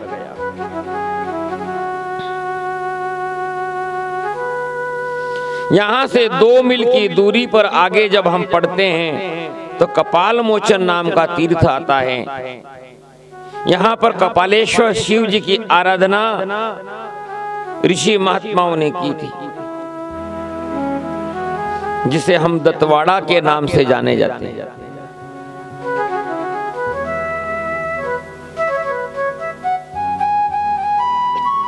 दत्तवाड़ा जो गाँव है वे कपाल मोचन नाम का तीर्थ है। यहाँ से तीन मील आगे बढ़ते हैं। तो यहाँ पर छोटा वर्धा नाम का घाट आता है जिसे अग्नि तीर्थ भी कहते हैं। पूर्व काल में यहाँ अग्नि देव ने घोर तपस्या करके सिद्धि को प्राप्त किया था। और पाँच मील आगे बढ़ते हैं। पिपलोद घाट आता है। और वहाँ से तीन मील आगे बढ़ करके कसरावत घाट आ जाता है। यहाँ पर भी सहस्त्र यज्ञ तीर्थ की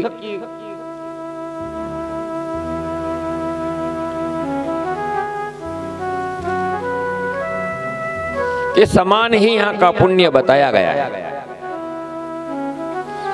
यहाँ पर दक्ष प्रजापति के पुत्रों ने दिव्य सहस्त्र वर्षों तक तपस्या की थी और सहस्त्र यज्ञ को करके सिद्धि को प्राप्त किया था।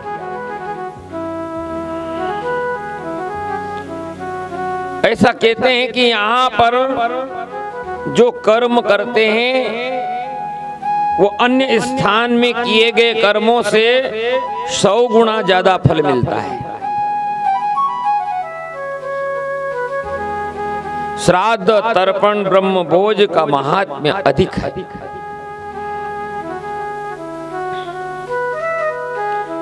और यहाँ से तीन मील आगे बढ़ते हैं, जो वहाँ पर रोहिणी तीर्थ नाम का स्थान आता है।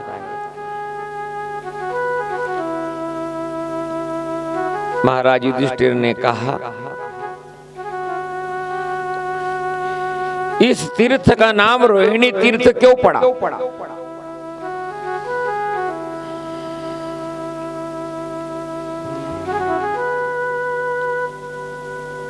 मार्कंडे ऋषि ने कहा कि नर्मदा के तट पर दोनों तटों पर पहले निषाद जाति के लोग ज़्यादा निवास करते थे,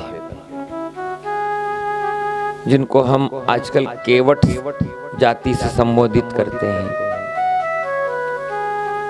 उन निषादों में कि यहाँ पर एक कन्या थी।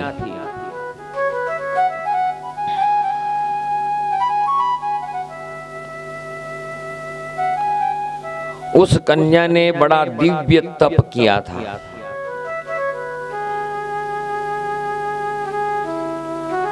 और तपस्या करते करते उसका शरीर छूट गया था। तो यहाँ पर शरीर को छोड़ करके पार्वती माता की सखी बन गई थी।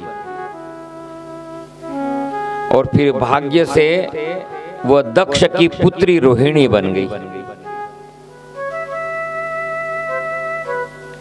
दक्ष प्रजापति ने अपनी सत्ताईस पुत्रियों का विवाह चंद्रमा के साथ किया था।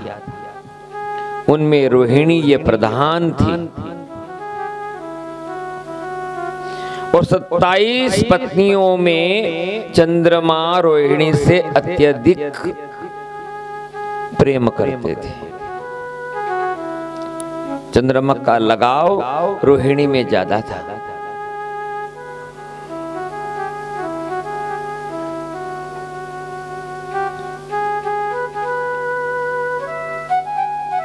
उसने यहाँ नर्मदा के तट पर तपस्या की। इस कारण से इस तीर्थ का नाम रोहिणी तीर्थ पड़ गया जिसको हम आजकल राजघाट बोलते हैं।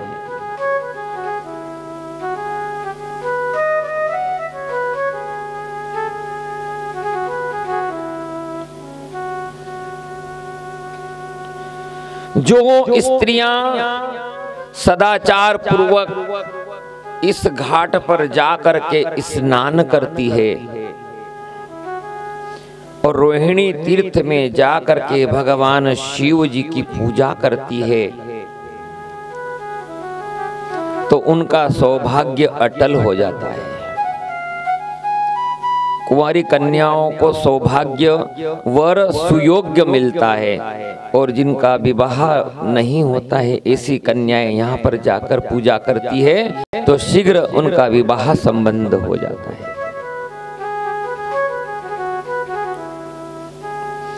समस्त कामनाओं को पूर्ण करने वाला यह रोहिणी तीर्थ है। उन्हें सात जन्मों तक अखंड सौभाग्य की प्राप्ति होती है। इसे बावन गंगा घाट भी कहते हैं। जिसका अपभ्रंश होते होते होते बड़वानी नाम का नगर पड़ गया।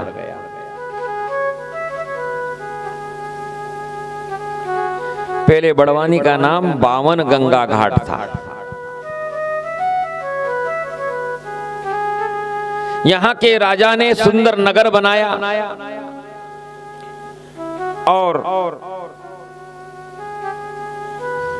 अपने राज्य में इस तीर्थ को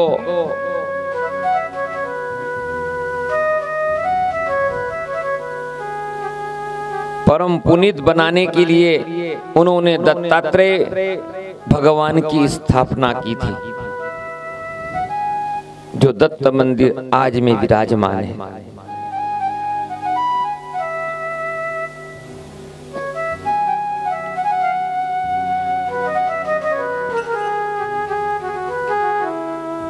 राजन, यहाँ से जब हम आगे बढ़ते हैं, तब हर परिक्रमा वासी की परीक्षा होती है। निभ्यासी मील तक यहाँ पर घना जंगल है ऊँचे ऊँचे पहाड़ है, कोल किरात भील यहाँ पर निवास करते हैं और हर परिक्रमा वासी को लूट लेते हैं।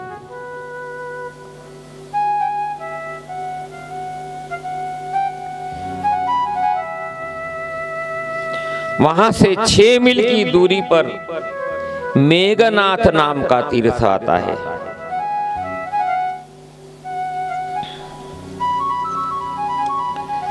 मार्कंडे ऋषि कहते हैं कि त्रेता युग में रावण का पुत्र महर्षि पुलस्त्य का पौत्र मेघनाद हुआ।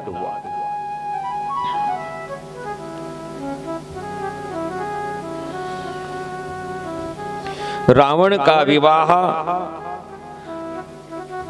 विंध्याचल अधिपति मयासुर की पुत्री मंदोदरी से हुआ। और मंदोदरी ने एक पुत्र को जन्म दिया। और जन्म लेते ही वो मेघवाणी में गर्जना करने लगा। उसकी गर्जन को सुन करके देवता घबराने लगे। पृथ्वी थर थर कांपने लगी। दसों दिशाओं के हाथी चिंगाड़ने लगे। बड़ा भयानक घोर शब्द ब्रह्मांड में सुनाई देने लगा।